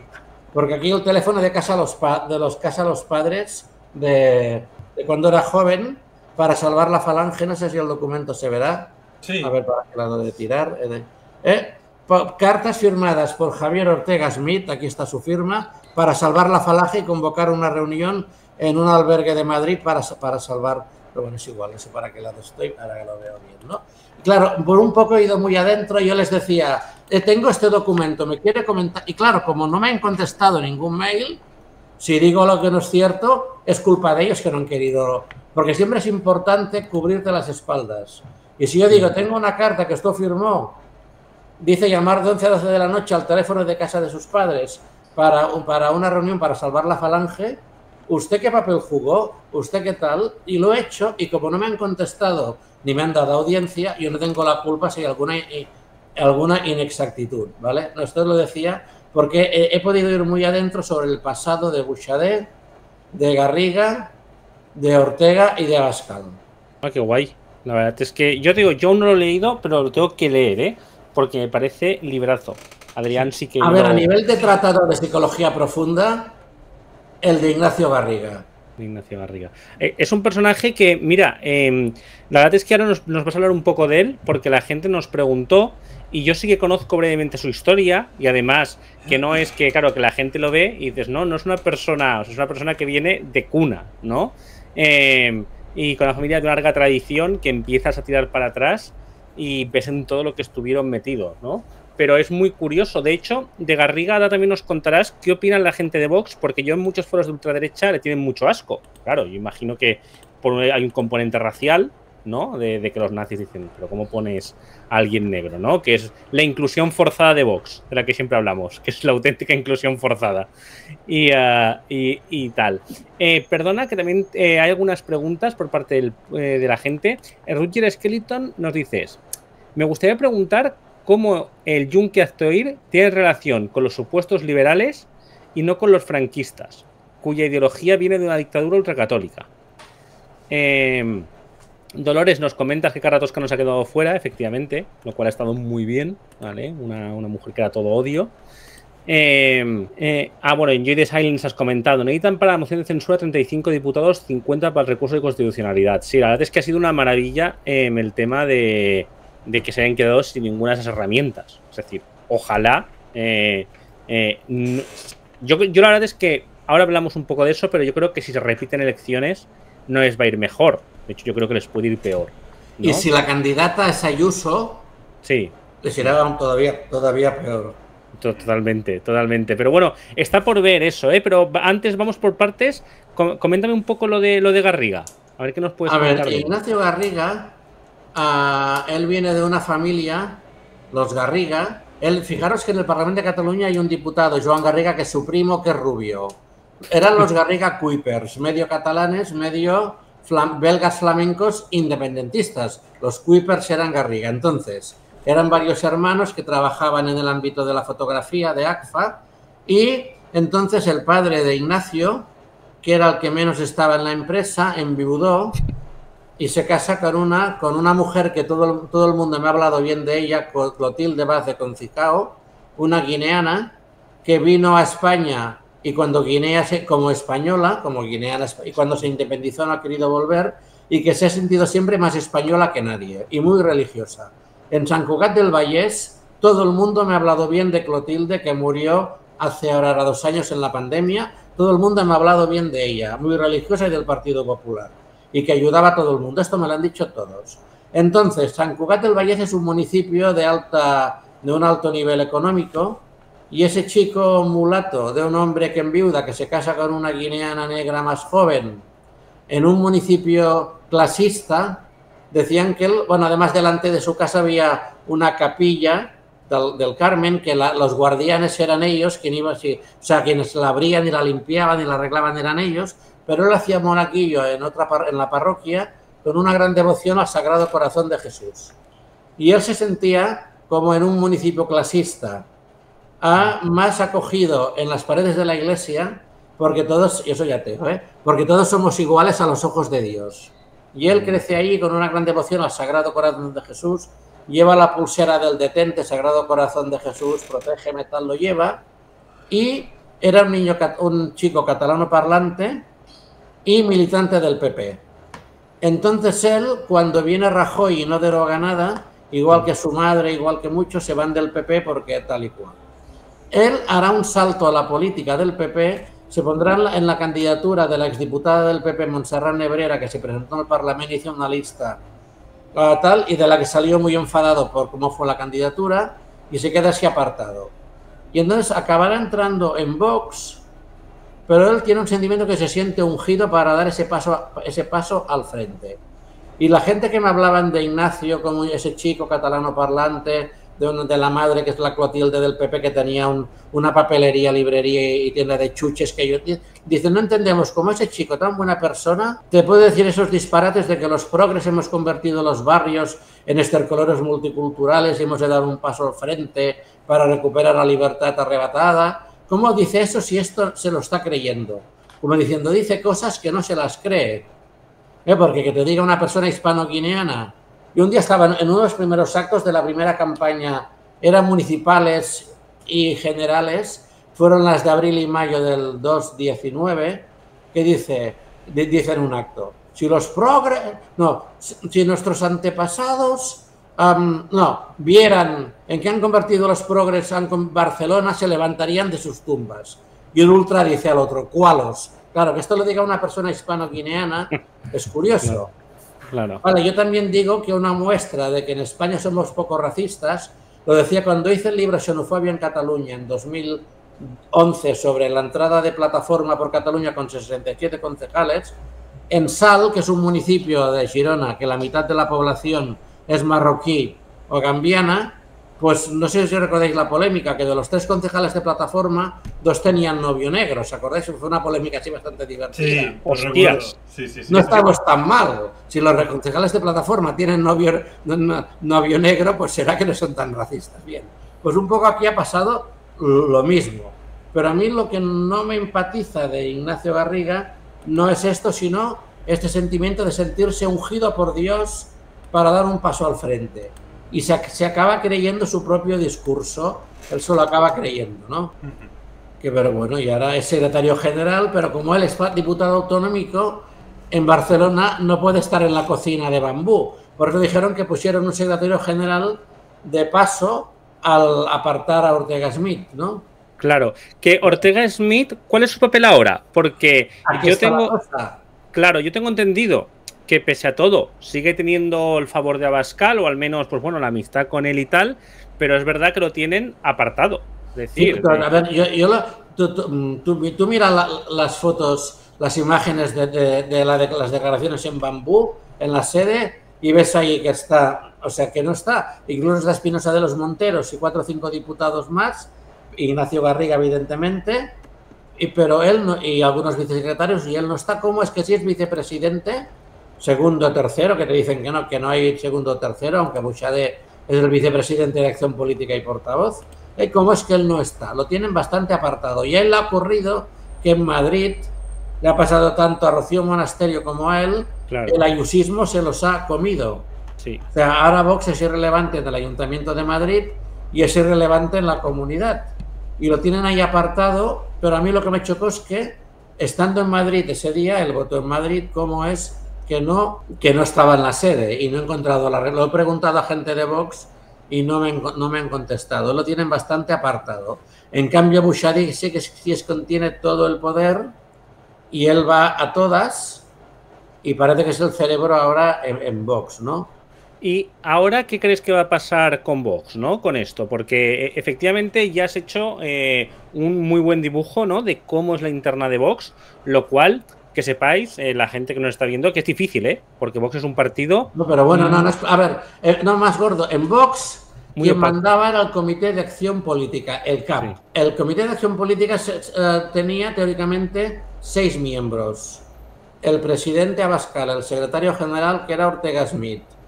Ah, el portavoz en el Congreso es Espinosa. Luego tenían a Bouchardet como portavoz en el Parlamento Euro- Europeo y un responsable de comunicación, que no decían el nombre, pero era Kiko Méndez Monasterio, el hermano de la diputada Lourdes Méndez Monasterio, y fue Kiko Méndez Monasterio quien negoció la investidura en Castilla-León. Lo hizo él, que no tiene ningún cargo. Ah, entonces, lo- se modifican los estatutos para poner otro cargo, dicen, el director de política de gobierno, porque gobernaremos en Castilla, León y en Andalucía, que no gobernarán, y luego el de política parlamentaria. Pero no nombran a nadie más y me decían "No, es que Bouchardet ocupa los dos cargos. Mientras tanto, aparcan de aquí a, a Ortega Smith al dejar de ser secretario general y ponen a Garriga. Pero lo más gordo es que en los, en los estatutos que se cambiaron en el último congreso hace un mes, bueno, Asamblea General, dicen que el Comité de Acción Política, que es quien diseña la dirección y da las directrices a los vicesecretarios en nombre del Comité Ejecutivo Provincial, está formado por el, por el presidente y por el secretario general y quienes estos decidan. O sea, ahora ya no se dice si está el portavoz en el Congreso, ah, que, era, que era Espinosa últimamente, ¿no? O sea, ahora es, sea, que Abascal y Garriga deciden quién está en el Comité de Acción Política, que se reúne los lunes. Y el Comité Ejecutivo Nacional deberá reunirse cada dos meses. Que no hay ninguna ejecutiva de un partido que se reúna cada dos meses. Suele ser quincenal. O sea que ahora en Vox eh, manda quien decida Abascal y Garriga. Y no sabemos quién más forma de este núcleo duro, que es el Comité de Acción Política, cuyo portavoz sigue siendo Y es quien lo decide, quien lo decide todo, ¿no? Y quien decide quién se hace las listas, porque recordemos que Vox ha abolido las primarias para las ejecutivas provinciales Exacto, todo. y ha abolido las primarias para las candidaturas que las nombra, se nombran desde, desde Bambú, ¿no? O sea, es un partido piramidal que todo le decide el Comité de Acción Política, que está Abascal y los que él decida. Exacto. Y a, mí, bueno, mira, vamos a, responder algunas preguntas porque nos, nos los estáis haciendo. Eh, nos preguntáis quién es Carla Toscano. Eh, pues Carla Toscano es una diputada eh, de Vox que era conocida eh, por ser, por tener un discurso también muy ofensivo, muy gritón, y fue la que tuvo el gran conflicto con Irene Montero, ¿vale? Que luego la, que la acabaron echando, bueno, quitando el turno de palabra, que Vox se salió, y ahí cogió un poco más de relevancia, ¿vale? Eh, y por suerte, pues bueno, no ha sacado escaño. Luego eh, nos pregunta la pregunta de antes, Xavier. La duda que tengo y me gustaría preguntar cómo el Yunque Actoir tiene relación con los supuestos liberales y no con los franquistas. A ver, el Yunque tiene una particularidad, que al ser un grupo secreto y digamos clandestino, no se puede decir quién, pertenece, quién está en el Yunque, con lo cual no sabes que puedes creer o no. Aquí sí he de reconocer que Miguel González, el periodista del país que hizo el libro ah, hace un año, Vox, el negocio del patriotismo, Ah, vale. consiguió, eh, consiguió los estatutos de una que se llama Asociación del Bien Común de España. Ah, claro, en los estatutos ellos. iniciales ponía que era el brazo del Yunque en España. Entonces, la- el registro de asociaciones, pero esto lo ha sacado Miguel González y el mérito lo explicará él, ¿eh? No yo. Sí. Entonces, el, el registro de asociaciones dijo, si usted es el brazo de, mm, e- ese grupo debe hacer un acta diciendo que ellos son los míos en España. Entonces lo quitaron. Y ponía, y aquí vamos, que el, el tesorero y secretario del Yun- de la Asociación del Bien Común, que era el brazo del Yunque, era don Liberto Senderos. Y Liberto Senderos es el segundo concejal de Vox en el Ayuntamiento de Barcelona. Exacto. Yo poco te puedo demostrar de el Yunque y hace oír. Hay un libro que lo tengo por aquí. Sí. Y no, yo no haré cortar y pegar el- este libro de Santiago Mata. A ver, bueno, si ya lo estáis Ah, Santiago Mata, hay que traerlo un día, ¿eh? este libro y Sí. yo no voy a hacer, porque yo a mí no me gusta hacer cortar y pegar. Yo lo he investigado y yo en el Yunque no me quise meter porque era ya era bast- ya tuve bastante con falangistas, ultras, ex democracia nacional. Me gusta mucho- me he olvidado una cosa interesante que Kiko Méndez Monasterio, Sí. él fue miembro de la ejecutiva de Alianza por la Unidad Nacional y Alianza Nacional con Inestrillas y Pedro Pablo Peña, y ahora lo dirá al revés. Tres en la- por Madrid al Congreso y número dos, igual en las elecciones autonómicas, no me acuerdo del año, ¿eh? Aquí lo tengo, pero que fue número dos y número tres en las elecciones por Alianza de la Unidad Nacional. O sea que es un ultra de los que, se- que no se han colado, que hay muchos. En Cataluña hay muchos más ultras y nazis, pero eso es, que es lo que denunciaba Olona, pero esto ya es otro tema, que les han dejado entrar en Vox. Sí, sí. Exacto. Me gusta el Pero título del libro, que es como, ¿cómo podemos llamar a un libro que va sobre Vox y el Yunque? Pues le llamaremos Vox y el Yunque. Y ya Está perfecto, no lleva error. no da error, es va- va seguro de lo que tú quieres. Madre mía, la verdad es que eso es otro mundo, ¿eh? Nosotros hemos escrito mucho sobre, en nuestra web, hemos hablado mucho de, de las relaciones entre el Yunque, Hazte Oír y sus pantallas y Vox y vamos, eh, no te lo acabas, ¿eh? Te pones a tirar del hilo y no, no, o sea, llegas hasta Rusia sin darte cuenta. O sea, es una cosa, es una cosa bestial hasta donde llega, hasta donde llega. Bueno, ya vas a México, vas a Rusia, vas a, a un montón de sitios. Si empiezas a tirar del hilo, también es súper, súper interesante. Que ahora, por cierto, parece que están peleados. Hazte oír y, y Vox. Bueno, oír reprochó a Bascal que no, no había conseguido en los ayuntamientos y autonomías, había conseguido que se derogara nada la GTBI y, bueno, y tenía parte de razón, pero bueno, no sabemos si fue un tirón de orejas para que pareciera o fue real, no lo sé. Es que la la cosa es esa, eso aquí lo hemos hablado eh, con algún periodista, ¿vale? Del tema de, oye, el conflicto este, ¿tú qué opinas? Eh, ¿Que es real o, o que, o que no lo es? Eh, por ejemplo, lo hemos hablado con, ah, con Ángel Munarriz de Infolibre, que él cubre mucho, él sabe mucho ultracatolicismo, mucho, mucho. Y él considera que el conflicto es real, es decir, que de vez en cuando pues chocan, porque eh, Vox sabe que hay ciertas estrategias que no le vienen tan bien, ¿vale? Y de vez en cuando chocan con ellos, pero que están muy condenados a entenderse. Y que las peleitas, pues bueno, pues son peleas que van teniendo todo el rato, pero que al fin y al cabo. Y yo ahora es que, claro, como veo que siguen poniendo a gente del Yunque y tal por ahí, yo digo, es que por mucho que crean o intenten hacer ver que están totalmente peleados, eh, pues bueno, están ahí todo el rato retroalimentándose un poco, ¿no? De vez en cuando, pues si les sacan un autobús y tal, a veces habían sacado un autobús contra PP y Vox y tal, metiendo de expresión, pero, pero poco ya, ha sido poco, poco relevante. Nos preguntan también, Xavier, ¿y Herman Terch cuándo manda? Porque al menos es el que lleva todo lo internacional, ¿no? Bueno, claro, hay, hay una cosa como Bouchardet en el Parlamento, está poco en el Parlamento Europeo porque está los lunes, de estar cada lunes en Madrid, en la reunión del CAPI, y está más en Madrid. O sea, Bouchardet fue a Madrid a Puigdemont a prisión. Vale. Eso tiene cachón. Ay, a Madrid, perdón, a- hasta- al Parlamento Europeo a por las órdenes.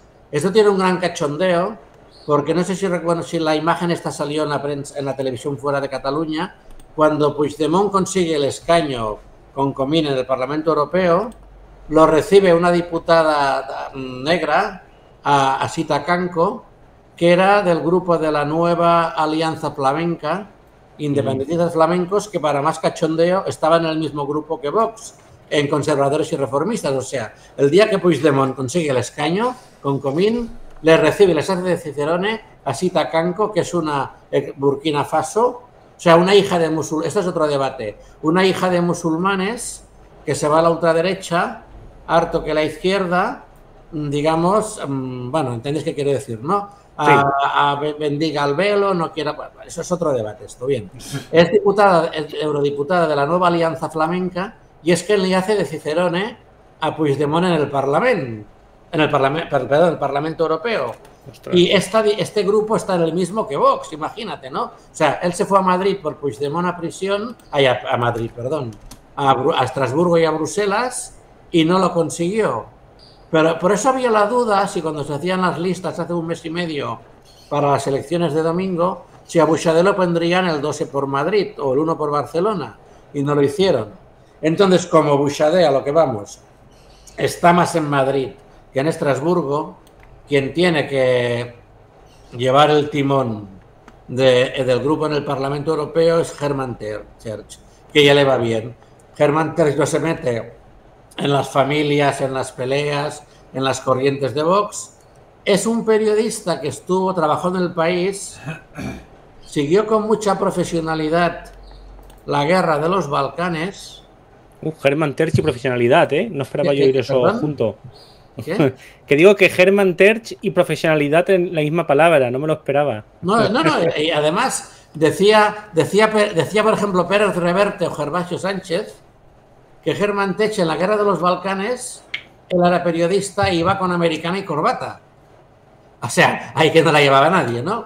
Y entonces él, él, en lugar de decir que Milosevic, al retirar la, autonomía de Kosovo y querer recortar Croacia tal tal, rompe el consenso y, digamos, mm, Yugoslavia se desmiembra, toma el, otro perfil.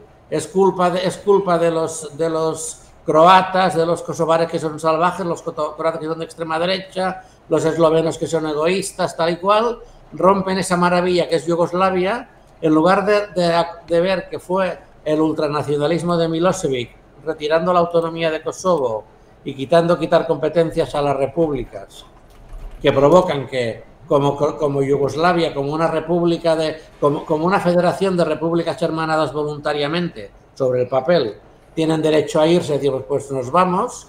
Él culpa todo al nacionalismo, al nacionalismo, a los croatas, a los eslovenos que son nazis, y esto lo traslada a España cuando surge el Prusés. Ah, claro, que es lo mismo, además. ¿Qué? Que, que es lo mismo, lo mismito. Y él lo traslada allí. Y entonces, bueno, se mete en Vox y una persona que la veías como periodista de guerra que sabe empatizar, pues tomándose. Y Tercio lo que está allí, pero él no se mete en política, digamos, no está nunca en bambú ni está en las peleas. Él está ahí Vale. a- y siguiendo de diputado contento. Él- es está él muy es- poco en está en Madrid, no está, Claro. no está allí. Él es muy militante, ¿no? Porque yo lo he visto muy, muy, ¿qué? muy muy militante. ah, militante de las ideas de la extrema derecha, quiero decir. Muy cultural, muy tal, ¿no? Bueno, sí, sí, pero sobre todo contra los nacionalismos, que los nacionalismos son nazis, y no mira, por ejemplo, en Cataluña, que hay bastantes ex-nazis. Ni pues, quién fue su eh, padre, ¿no? Tampoco lo mira.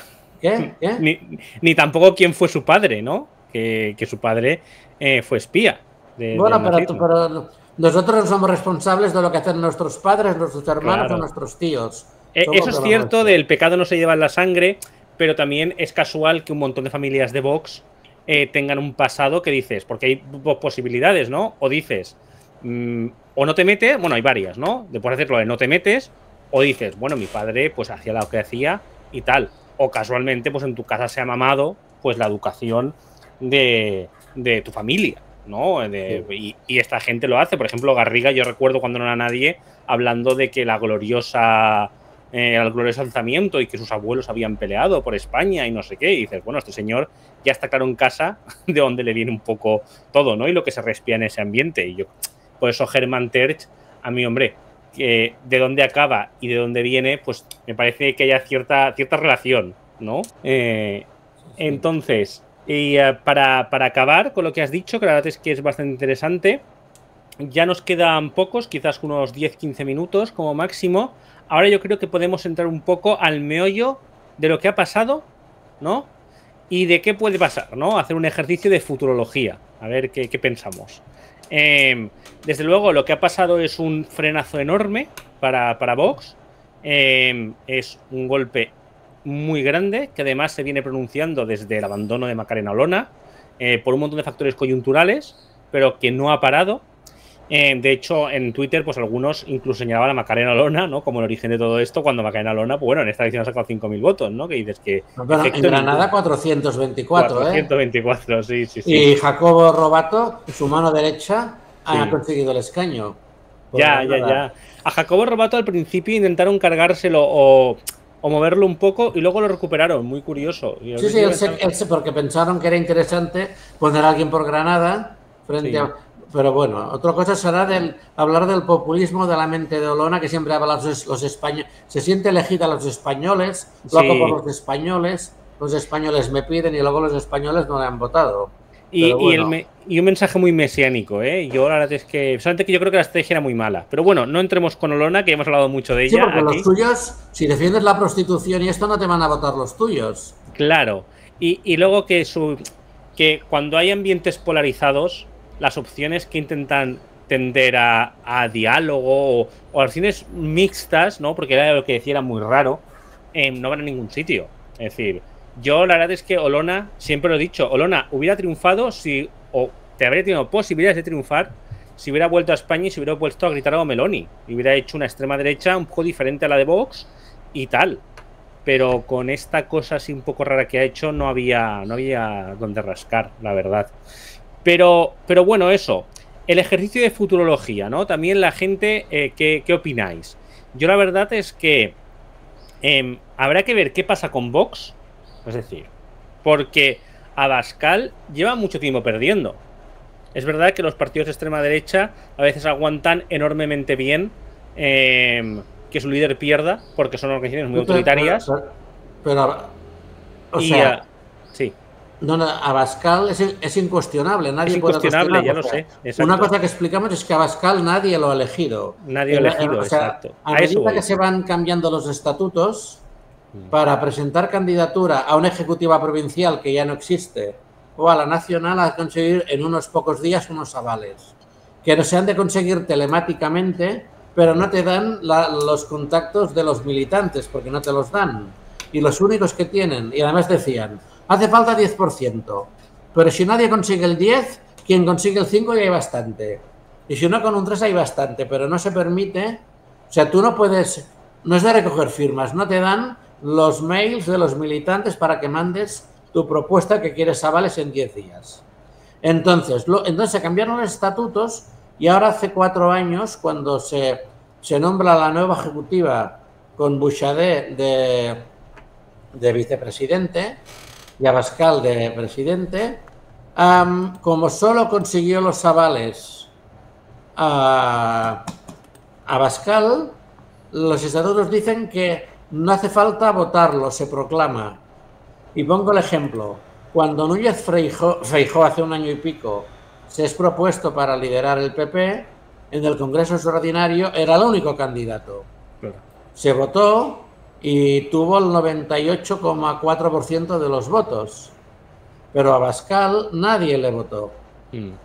Entonces es incuestionable porque, es, o sea, además al no haber ejecutivas regionales, se Claro. ahorran los varones territoriales. Entonces, bueno, no hay. Y además, al suprimir también las ejecutivas provinciales que sean votadas, todo es piramidal. Con el dinero de los ayuntamientos y grupos ah, parlamentarios que parte va a Madrid, se nombran los comisarios políticos y vicesecretarios. Pero es que además, fíjate, el vice- los vicesecretarios de organización de cada provincia no han de obedecer al, al presidente del Comité Ejecutivo Provincial, que ahora la mayoría ya son designados a dedo, quedan pocos de los que fueron votados, sino que a obedecer a su vicesecretario de- en Madrid. Y el vicesecretario en Madrid hace lo que le dice el Comité de Acción Política, que es Abascal, Bouchardet, a Kiko Méndez Monasterio, Ignacio Barriga, parece que Espinosa o no, y no sabemos si hay alguien más. Y así funciona. Claro. Eh, Claro, la- toda la gente que se fue con, de los concejales del otro mandato, se fueron dando pestes, nadie consiguió nada. Hicieron listas así y no han conseguido nada porque la marca es Vox, Vox, Vox, Vox. Y la gente apu- apuesta por la marca porque es lo que trae. Luego hay gente honesta que va y, o sea, que un, que un diputado que es abogado economista quiere hacer su trabajo y le cortan las, las manos y no puede hacer nada, pues hay quien lo acepta y hay quien se cabrea y se va. pero Vox funciona así. Claro, la cosa aquí es que eh, contestación interna no hay porque no la puede haber. Es decir, Abascal eh, ha montado un partido en el que, como bien has explicado, ¿no? puede haberla. La cuestión es cuánto puede sobrevivir al ruido de la calle. ¿no? Que este es el tema, es un poco interesante. O dos, o si Vox puede tener formulaciones internas diferentes. Porque eh, yo, por ejemplo, en muchos foros ultras, foros de política, ¿no? Que son muy pro Vox. Eh, claro, ahí hay muchas voces. parece que ahora se está librando un poco porque están enseñando más a Feijó, ¿no? Pero también hay una parte de gente que era muy de Vox que está criticando mucho a Bascal, en plan de monigote, ¿no? Y a, y a Buxade, de, que es, de que lo culpan, ¿no? De la transformación del partido, que bueno, yo creo que estaba cantada, y, eh, y de, la, de, la, culpa de esto, ¿no? Entonces, ¿tú crees que si no hay elecciones generales, porque si las hubiera, no van a meterse en, en nada, ¿no? Pero si no las hubiera, ¿crees que puede haber algún cambio en la dirección de Vox? A ver, a todo va a seguir igual. Si, hay elecciones, si no hay elecciones generales, es que ha habido investidura. Y si ha habido investidura, habrá el pecado original de que Pedro Sánchez habrá pactado algo con Puigdemont, ¿vale? Habrá pactado algo con Puigdemont. Entonces dirá esto que, o sea, sacudirá que, hemos, que España está vendida al diablo. Y aquí el papel es qué papel hará, el PP y cómo gestionará Feijó pues un gobierno del, del PSOE con poder, con sumar, con la abstención. Claro, lo que puede conseguir es la abstención de, de Puigdemont a cambio de no sé qué. Hay cosas tangibles, la alcaldía de Barcelona. Sabes que en, en, último, en la última hora hubo el pacto. Colau decía, no, no pactaré con el PP para quitarle tal tal y al final hay un pacto de entre Colau, el, el PP y los socialistas para quitarle la alcaldía Trías y hay cosas concretas que es como, como que Iboni dimitiera y que fuera alcalde Trías como lista más votada con Esquerra Republicana. Son estas son cosas tangibles. Claro. Pero las propuestas que se hacen ahora desde el independentismo, amnistía, la amnistía es imposible. Y además no puedes indultar a quien no ha sido condenado todavía. Tú cuenta, Y cuenta además que podemos criticar al independentismo, pero hay mucho dolor. Y pongo el último ejemplo. No sé si conoces el caso de Girona, de la Policía Nacional, infiltrada que ha sido pareja durmiendo, acostándose ah, con un militante independentista que incluso le invitó a la segunda residencia de su madre y era real, no fue un, un, chalet alquilado y whatsappeaba cada día con la suegra y luego el digital La Directa descubre que es el cuarto o sexto caso de policía nacional infiltrado en el independentismo. Pero es que estuvo, perdón, durmiendo, o sea, dormían juntos, hacían el amor cada noche, ¿no? Y, esto y además, este policía, esta Policía Nacional hizo algo que puede invalidar el sumario de este caso de Girona, que este, este joven este está imputado por cortar la, la, estación del AVE, ¿no? Que la Policía Nacional infiltrada fue a la, iba a las reuniones con el abogado y entonces el abogado es intocable y si el abogado de la causa ha hecho todas las reuniones con una policía nacional infiltrada, hay este dolor de que así no, y por eso está crítica Marlasca de estas, de estas cosas que están pasando. Claro, el independentismo pide amnistía, no van a dar ninguna amnistía. Y pactar una reforma de la malversación agravada o lo que sea para tal, lo veo difícil. Entonces, ¿tú qué crees? Que tiene la llave Sí. La moderación de Junts era Trías, que Trías ganó las elecciones diciendo que había que aparcar el tema de la independencia. Y esta vía de Junts de volver a la antigua convergencia ha quedado castrada. Entonces hay, entonces hay dos personas que están acorraladas. Laura Borràs, la que era presidenta del Parlamento, inhabilitada por un caso de corrupción, pero ella dice que es mentira, que me han, o sea, por, por adjudicar fraccionando unas cosas a, un, informático amigo suyo, ¿no? Y esto es un delito y ha sido condenada. Vale, entonces ella, la lo bien de como que España nos persigue y Puigdemont que está acorralado en, en, el en Bruselas. Claro. Pues claro, ¿qué salida les das? Y hasta que solucione Puigdemont y Laura Borras no querrán negociar.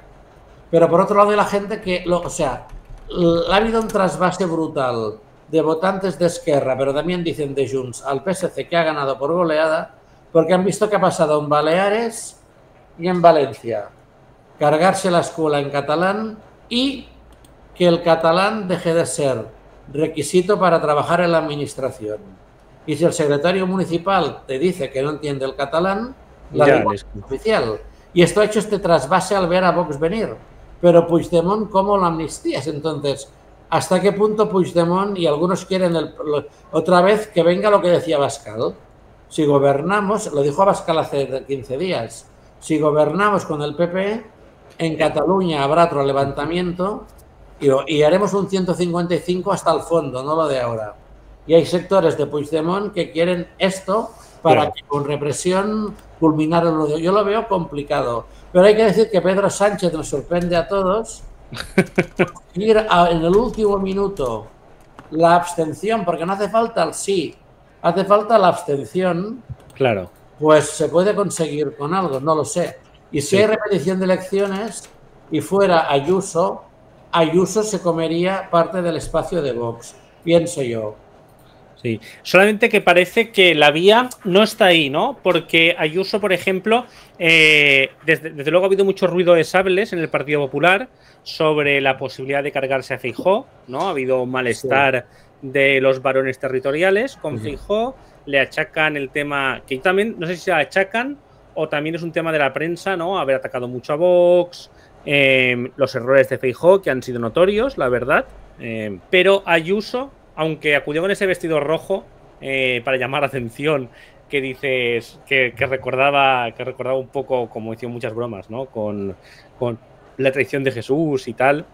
Eh, Ayuso ha declarado que no va a traicionar a Feijó, lo cual es muy revelador, ¿no? Porque Esperanza Aguirre había dicho que, tenía que ser el, que a lo mejor el futuro pasaba por Ayuso, ¿no? Que ya no negaba eso y tal. Entonces no parece que la vía Ayuso sea, sino que posiblemente tengamos una vía Feijó si hubieran repeticiones. En ese caso, ¿tú crees que Vox puede seguir perdiendo por el voto útil? A O- ver, en ese caso, si, si la alternativa es Feijó o Pedro Sánchez con Puigdemont, claro, puede haber voto útil, igual que aquí ha habido mucho voto útil de gente que ha votado al PSC para parar a Vox, porque lo que les ha hecho mucho daño a la CUP, y a, la CUP, por ejemplo, la CUP que tenía dos diputados ha pasado de 200.000 votos a 80.000, porque dijo que somos el baluarte del fascismo, somos la frontera, pero no investiremos a Pedro Sánchez con Podemos y nos abstendremos. Por esto puede pasar otra vez. Si, si el lobo es ah, los socialistas con Sumar, con Puigdemont, que quieren romper España, yo creo que puede haber pues un voto de Vox, porque claro, no nos engañemos, muy- gran parte del votante de Vox es el votante del PP que cree que el PP con Rajoy no hacía nada y se han ido allí. Hay muchos sectores de votantes de Vox, también hay el votante joven follonero o así. A nivel de imagen, hay, hay un vídeo que no sé si lo habéis visto, con esto de, Sánchez y, Puig- y Puigdemont. En Sal, este, este municipio contiguo a Gerona, con mucha inmigración gambiana y marroquí, era, es la fiesta mayor estos días y el lunes había un concierto de un grupo catalán, Los Búhos, y hay un vídeo que corre por la red que es, se puso la gente a gritar al empezar el concierto, am, Sánchez Mamón llama a Puigdemont, no sé si lo has visto. Sí, sí, sí, sí. Oye, sí. bueno, y está ahora será Sánchez Mamón, o sea, que Sánchez tenga que hablar con Puigdemont, y claro, es, es muy kafkiano, porque también la líder de Esquerra Republicana es Marta Rovira, que también está imputada con petición de prisión y está en Ginebra. Pues claro, es muy... ¿Cómo salimos de esto? Y hay sectores que quieren tanto en el independentismo como en Vox que siga la confrontación porque les alimentan, no lo sé. Claro. Pero lo que me preguntabas, que yo me enrollo, que habrá voto útil de Vox al PP, yo lo creo. Pero no, va, no se va a dar por muerto a Vox. Vox está en los ayuntamientos. Vox, este espacio de rechazo a la inmigración y rechazo a las imposiciones de Bruselas, estará. El, el sector más católico de Vox, yo creo que flaquea. Yo conozco a gente de Vox que te dice: Estoy a favor del aborto. Estoy a favor del matrimonio homosexual. Estoy a favor de la eutanasia porque viví el cáncer de mi madre y yo no lo quiero para mí. O sea, el, el sector ultracatólico, el Garriga, no, no tiene mucho futuro, pero el de España es un 1,51. Yo, Sí. yo creo que sí. Yo, yo creo que yo creo un poco que también, ¿no? Además, Eh, yo, Vox, no sé si cambiará un poco la estrategia porque eh, la verdad es que la de lo de constantemente señalar el enemigo interior es una cosa que generalmente se suele hacer más cuando estás en el poder que cuando estás fuera, ¿no? Es decir, yo, por ejemplo, em, una cosa que siempre vi relativamente acertada de Vox era en un país con una aceptación LGTBI relativamente grande, en no tener ese tema como tu bandera, ¿vale? Pero es que esta vez ha ido a saco. Confiaba en que iba a arrasar y ha dicho, voy a hacer como en Polonia y Hungría, que son mis aliados, y empezar a señalar a la gente LGTBI, que lo había hecho poquito. Y además se ha visto un crecimiento de ese discurso muy bestia en sus youtubers de extrema derecha, copiando el discurso de Trump, copiando cosas de otros países, ¿no? Que yo digo, no, no, no. Era una cosa que, en mi opinión había sido un error, ¿no? Y se ha puesto, como tú has señalado, eh, a, señalar mucho más al enemigo interior, ¿no? En, según a, los, españoles malos, ¿no? Pero una cosa es el independentismo, pero el tema de aborto y homosexuales es más un tema de, Ignacio Garriga, que Garriga está obsesionado con esto. ¿Tú ah, recuerdas que Ortega Smith hace cuatro años y medio cuando le preguntaban por el aborto te decía que las 100 medidas de Vox dice sacarlo de la sanidad pública, pero no decía encarcelar, prohibir. No, lo ha dicho hasta ahora en el programa electoral este de las, de las 170 páginas que sacaron hace, hace tres semanas, no decía derogar la ley del aborto. Y Ortega Smith decía, no, no, no estamos por encarcelar a nadie, hemos de dar alternativas. Y decían, bueno, señor Ortega, pero la mujer con un que le, le detectan un cáncer y hay que hacerle quimioterapia agresiva al tercer mes de embarazo, bueno, bueno, esto es un caso anecdótico afortunadamente, pero él no decía derogar.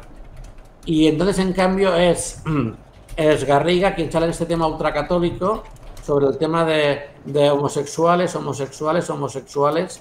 Es un tema de Garriga, porque él esto sí que se lo cree mucho, Garriga, este tema. Porque él sí que habla con Dios cada día y Dios le contesta, ¿eh? Eh, eh, eh, esto, te, esto que me has dicho tú de, hablar con Dios es por, por, el tema, ¿no? De, que se cree la misión divina, que es un perfil muy Bueno, él, ha sido monaguillo, lo explico en el libro, delante de su, de su casa en San Cugat, es un barrio de, digamos, de casas, eran de torres, o que llaman de casas unifamiliares o así, ahí la capilla del Carmen y, su madre y él eran los guardianes y lo abrían, cuando iban un grupo de mujeres a rezar o hacían una misa y lo limpiaban y pero él los sábados hacía de monaguillo en San Juan Bautista, creo, que estaba a 20 minutos de casa. Y él se lo creía, y él, como un niño mulato en un municipio mm, clasista, pues todos somos iguales a los ojos de Dios. Él se lo creía y tiene esta misión y él se la cree. Se la cree y se le ha ido y se le ha ido Pero fíjate. Y se ha juntado con Buxade, ¿no? Que es el que faltaba, el otro. Cuando él hace, con la voz de Tres Varanos dice que se ha de permitir el topless en las piscinas públicas de Barcelona. Hizo un tuit, los separatistas rompen la familia, rompen la familia. Y entonces, claro, en ese momento circularon por, por la red fotos hechas así en Instagram de Cristina Seguí, la expareja de Ortega, que se veía en la playa que estaba haciendo topless, o sea, así de espalda, se le veía la espalda desnuda. Decías, coño, mientras la exnovia de Ortega cuelga fotos, es verdad, ¿eh? haciendo topless en, en Valencia, en la playa, y, tal, está, está, diciendo Ortega que Colau es el anticristo porque, porque permite que los niños inocentes vean los pechos en las piscinas de Barcelona. Y él ha impuesto esta línea. Igual que en el tema del aborto no se lo creen muchas de Vox, ni del matrimonio homosexual tampoco no se lo creen, pero bueno, la han tomado, aquí se ve la mano de Garriga, ¿vale? La mano de Garriga se ve sobre todo aquí. Vale. Y, eh, bueno, eh, también Adrián, ¿no? ¿Cuál es un poco tu, porra para el futuro? Mi porra para el futuro con respecto al futuro de Vox. Sí, el futuro de Vox un poco electoral, ¿no? A ver, yo es que a Vox le veo como tres problemas fundamentales. Eh, el primero son las contradicciones políticas en las que ha caído. Eh, y que eso es un poco ajeno a, la ideología que tú tengas. Si te contradices, te contradices. Por ejemplo, no puedes ir diciendo que vas a acabar con el gasto político allá donde vayas si en cuanto gobiernas lo primero que haces es subirte el sueldo. ¿Vale? No puedes decir que vas a eliminar las televisiones públicas autonómicas y luego darle 21 millones a la televisión de Castilla y León. Entonces, allá donde va, eh, hace básicamente en ciertas cuestiones sobre todo la, esa rebeldía antisistema de la que se quieren nutrir, eh, está demostrando todo lo contrario. Eso por un lado. Luego está eh, la cuestión del autoritarismo interno, ¿no? Y, las, y los cismas internos que han tenido. Eh, esto lo hemos dicho muchas veces, ¿no? Desde el 2019 hasta ahora, eh, hasta las elecciones de 28 de mayo, casi la mitad de esos concejales se les han ido. Bajo denuncias de, bueno, todo lo que has comentado aquí, Xavier, de que se llevan el dinero a Madrid, de que se impone todo desde Madrid, etcétera, ¿no? Y gente que, que incluso se había creído este rollo discursivo ideológico de Vox, de que están en contra de las mafias y no de los inmigrantes, o que están en contra del lobby LGTB y no de los homosexuales, gente que se ha ido criticándoles de extremistas, de que son unos racistas, unos homófobos. Y sobre, y sobre todo, Sí. que el concejal, que es un profesional de un te- sabe, no me dejan hablar en los plenos, no puedo hacer una moción, Exacto. no puedo irme a tomar un café con el, con el concejal del PP y pactar la, la moción de mañana. No le deja hacer política porque manda al comisario político designado por Madrid. Pero Correcto. bueno, te he cortado, ¿eh? Correcto, sí, no, sin problema, pero es verdad. Yo hasta he, llegado a escuchar quejas de que ni siquiera pueden publicar un comentario en Facebook sin la aprobación de Madrid, desde las cuentas oficiales, que dices, hombre, vamos a ser un poquito, ¿no? Eso por un lado. Y luego está eh, la cuestión discursiva o estratégica, eh, comunicativa, que yo creo que está empezando a agotarse. Es decir, no puedes estar todo el tiempo eh, basando tu discurso ideológico en bulos, en, conspiraciones, en que te bote chapote. en- Es que llega un momento que esto te puede funcionar durante un tiempo considerable, pero es una gasolina que explota rápido y se va rápido. Entonces la tienes que mantener de alguna manera. Y la cuestión es que yo creo que no han sabido mantenerla. Un punto de inflexión que a mí me parece que ha tenido Vox, más allá de todas las tortas internas que se han pegado y este desgaste que han tenido, y más allá incluso de lo que pasó con Olona, que creo que es un punto de inflexión grande, que es la primera hostia que se mete Vox, a nivel electoral, es el cambio de liderazgo que ha tenido el PP. Porque claro, Pablo Casado estaba ejerciendo un liderazgo mediocre, eh, que, estaba, se se estaba viendo eclipsado por Abascal en muchos sentidos, pero cuando reorganizan el liderazgo del PP y entra Feijó, de repente, eh, con esta retórica del voto útil y este rollo que se lleva a él, ¿no? Que recuerda un poquito a Rajoy, eh, más moderado, más sensato, etcétera, como que han vuelto todos esos votos hacia, hacia, hacia él eh, ante un, un Vox que, que- que- ha caído en estas, en estas tres cuestiones y que además ha llegado a ser esperpéntico. O sea, lo de la moción de de derecho a la cuenta mames no, no lo entendió nadie, creo yo. ¿No? Entonces, claro, eh, si no arregla todo esto, Vox va a seguir en su debacle. Y no tiene pinta ni de que vayan a parar los cismas internos, ni los autoritarismos internos. No tiene pinta tampoco de que de repente vayan a ser super, super coherentes políticamente, ni tiene pinta tampoco de que vayan a cambiar su línea discursiva. Sí que hemos visto cierta connotación de moderación en alguna intervención, en alguna historia, pero es que, eh, si es que lo primero que han hecho nada más llegar es subirse el suelo, censurar eh, cosas. Claro, la gente llega a un momento que tampoco que tampoco es tonta. O sea, no puedes estar todo el tiempo. Hay gente fanatizada que la vas a tener siempre ahí y puede que tenga un suelo de votos, Vox, pero que se va a convertir en una fuerza, creo yo, que poco a poco más irrelevante. Es posible. No sé yo, no sé yo cómo va a evolucionar ese tema, porque yo creo que también eh, en España tenemos una causística un poco diferente a a la del resto de Europa.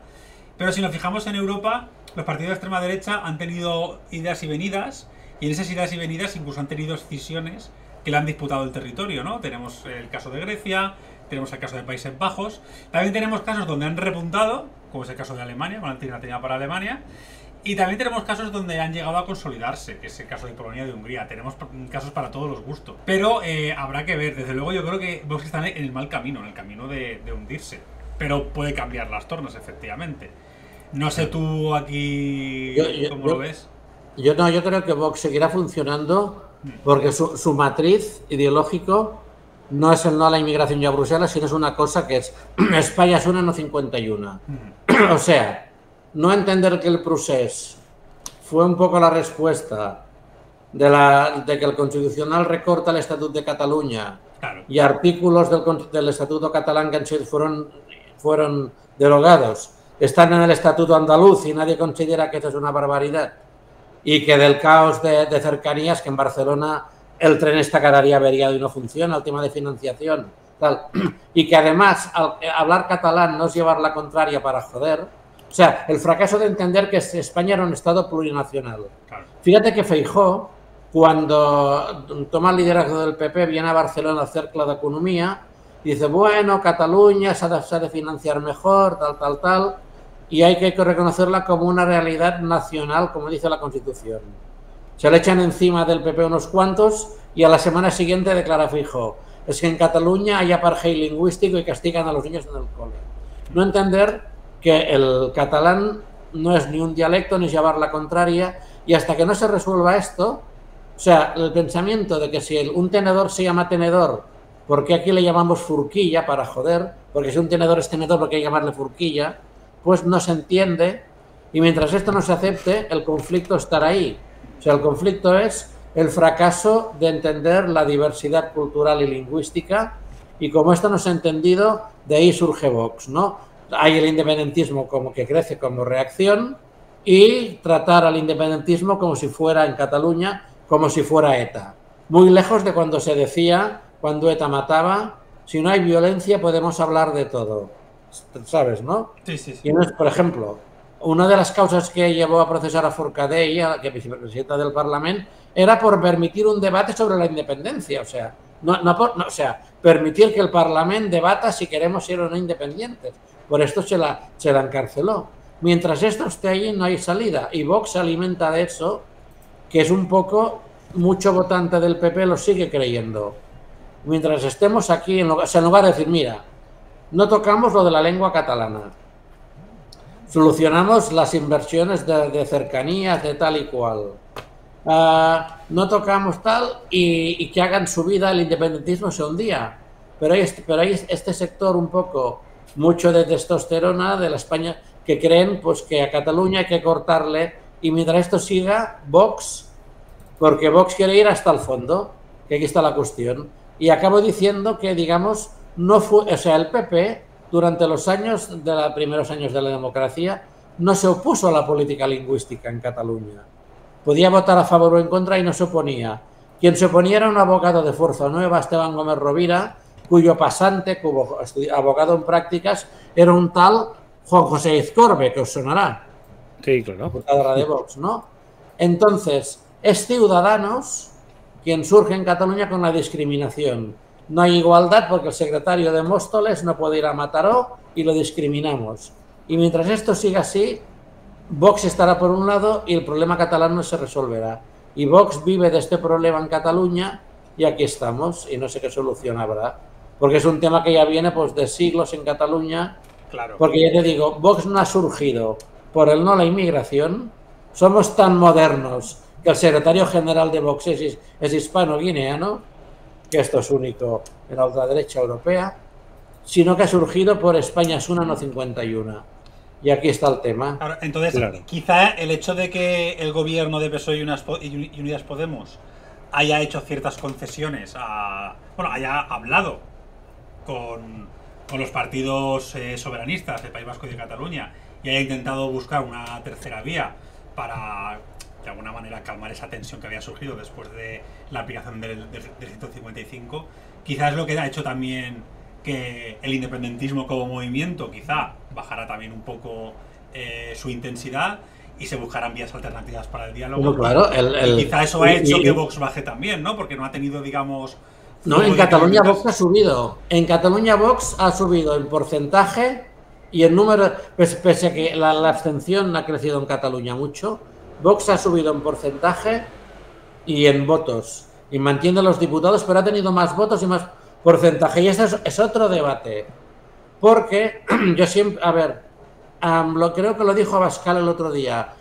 Es, han, han, habido menos casos, pero han habido ataques físicos, ¿vale? A los actos de Vox. En Madrid se entendió después de el, el intento de boicoteo en, de la presentación de Vox en la Plaza Roja de Vallecas hace dos años y pico, ¿os acordáis? Sí. Que era un error contra manifestarse, no solo por las consecuencias penales que tiene, sino porque tú estás agrediendo a un diputado y agredir a un diputado tiene consecuencias y sobre todo que le daba una gran publicidad. ¿Recordáis aquel día de la Plaza Roja, no? Lo sí. que hubiera salido 30 segundos en el telediario y un minuto en Telemadrid, todas las cadenas a incidentes, la policía desborda tal. Y en Cataluña se han mantenido los actos de violencia o de hostigamiento a Vox y esto les da más publicidad, les victimiza y les beneficia, porque Cataluña han, se han seguido produciendo, yo siempre lo he condenado, y, y, y además les dio más visibilidad. Y déjame acabar con, con una anécdota.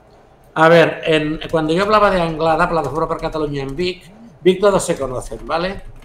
Y, y, la CUP de Vic decidió que no había que ir a reventar actos de Anglada, porque habían relaciones personales muy cercanas entre el entorno de Anglada y gente de la CUP.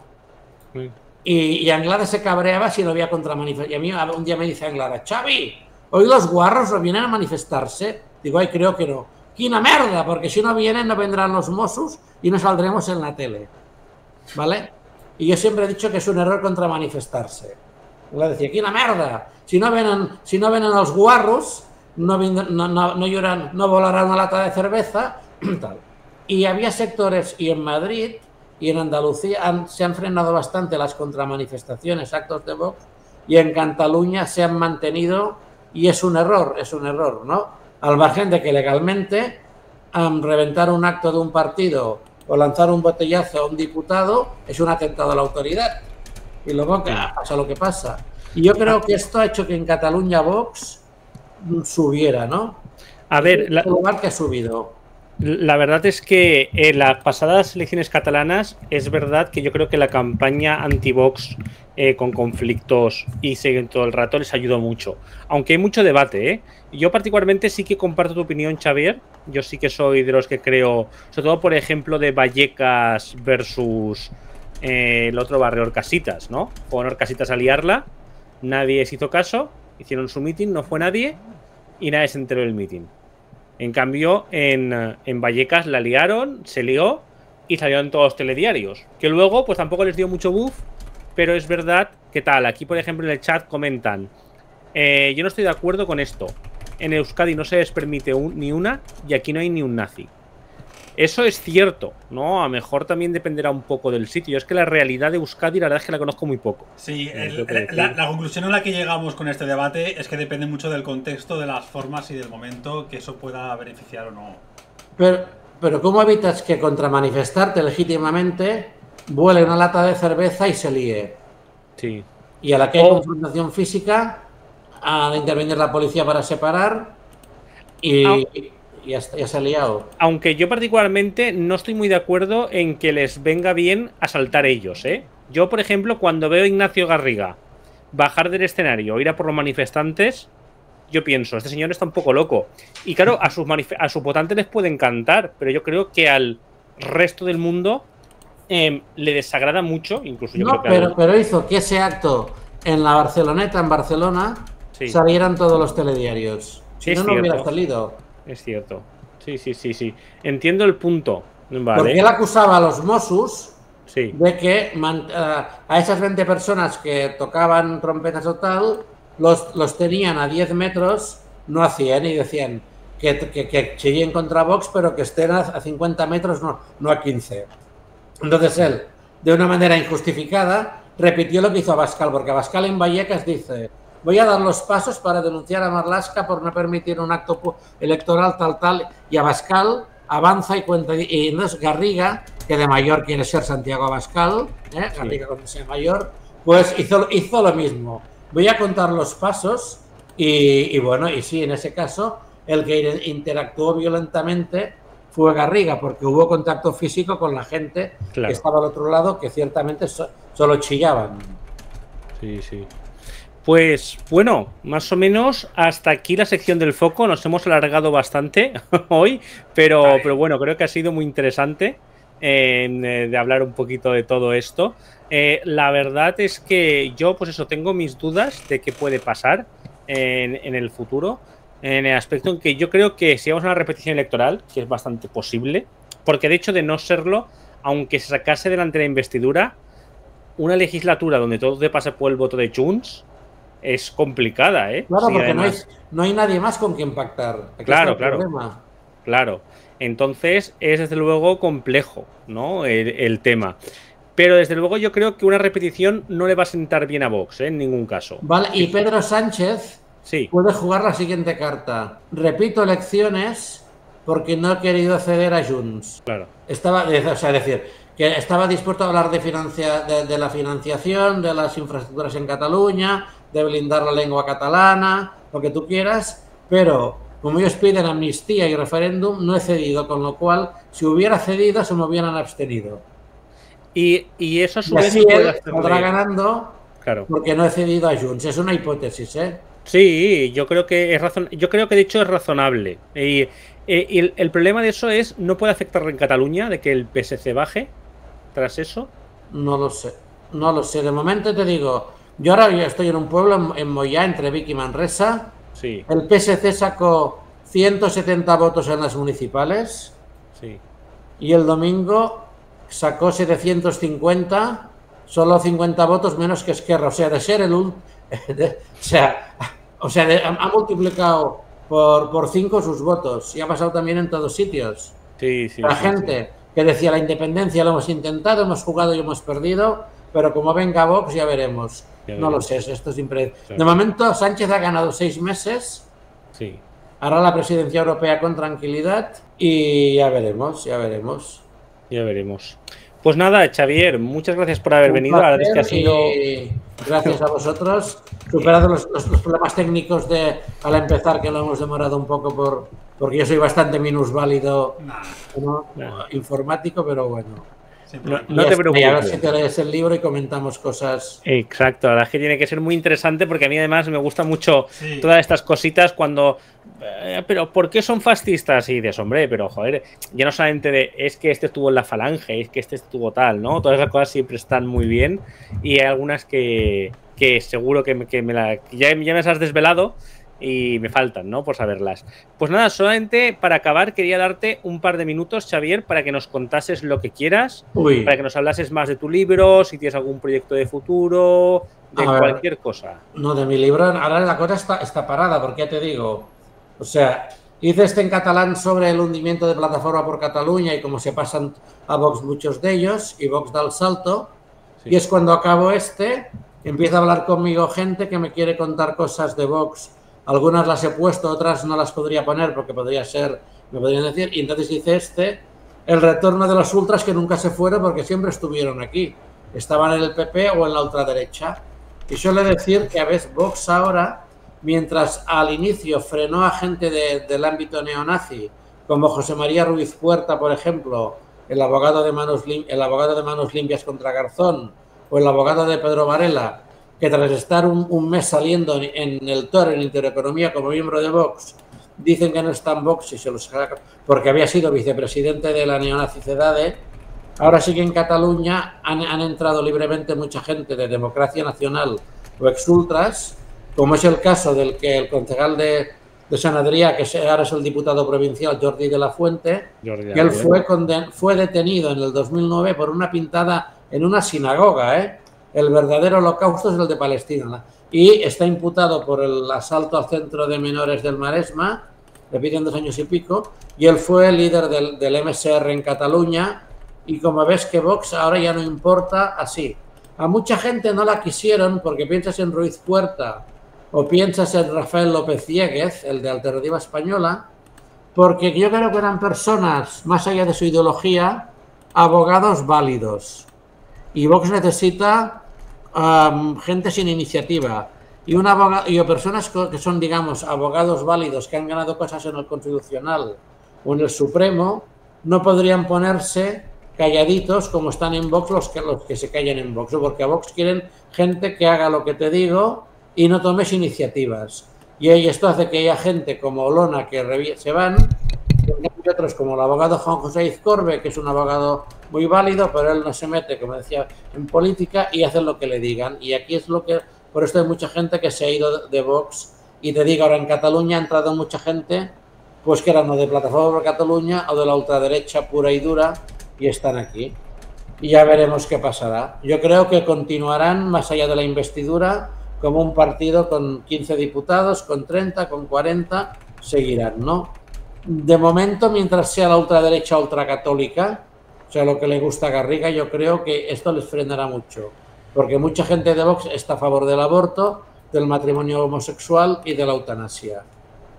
O sea, la ultraderecha a la polaca, aquí yo creo que no, no, no puede arraigar y le, le, quita más votos que le da votos. Pero fíjate, ahora Garriga y Bouchardet, que son católicos, ambos del Opus, que no hemos hablado del Opus, tanto Garriga como Bouchardet son del Opus, tienen parte del poder. Claro, claro, claro. Pues nada, eh, un auténtico placer haber tenido, Xavier. Eh, a este programa no se puede venir solamente una vez, entonces espero verte en el futuro por aquí y, y seguimos hablando, ¿vale? Muchas gracias, buenas noches. Un abrazo, buenas Ah, noches. buenas noches. Bueno, espero que os haya resultado interesante la charla con Xavier. Eh, la verdad es que, desde luego, como habéis comentado por el chat, es un, es un pozo ¿no? de, de- sabiduría y de información. La verdad es que tiene una cantidad de datos enorme y además de una época donde el foco no estaba tanto puesto en la ultraderecha, ¿sabéis? Porque, claro, eh, mucha gente nos movilizamos más en la época de 2010, 2008, cuando la ultraderecha empezaba ya a hacer sus pinitos. Pero claro, antes hubo una época donde los que se dedicaban a ultraderecha, pues bueno, eh, la gente decía, ¿para qué investigas eso? Solo te vas a meter en líos y esta gente tampoco va a ningún sitio. ¿No? El caso de Miquel Ramos, el caso de Xavier Rius. Y claro, es todo, pues es, todo eso vale para, para, para haber hecho ¿no? La, la trazabilidad, ¿no? De dónde viene toda esta gente, la historia y tal. Y la verdad es que muy bien, muy bien. Yo digo, yo tenía muchas ganas de traerlo hace tiempo, porque la verdad es que su blog es una maravilla en el aspecto de toda la información que tiene, que solo está en ese blog. Es decir, no está en otro sitio, ¿vale? O la ha sacado él y ya está. Pero bueno, pues nada, eh, seguimos con el programa. Eh, os recuerdo que esta camiseta tan chula eh, que llevo es de nuestros amigos de Abad, que colgaron la, la pancarta en Madrid y que les damos las gracias por esa movilización social. Eh, seguimos aquí. Muchos os habéis unido al programa. Nada, seguimos aquí para hablar de lo que ha estado pasando y sobre todo para celebrar esta victoria que, repito, es hemos frenado a la extrema derecha. Además me gusta mucho esa frase porque es la que usan ellos para reírse. Entonces, es como, está muy bien, ¿no? Hemos frenado a la ultraderecha.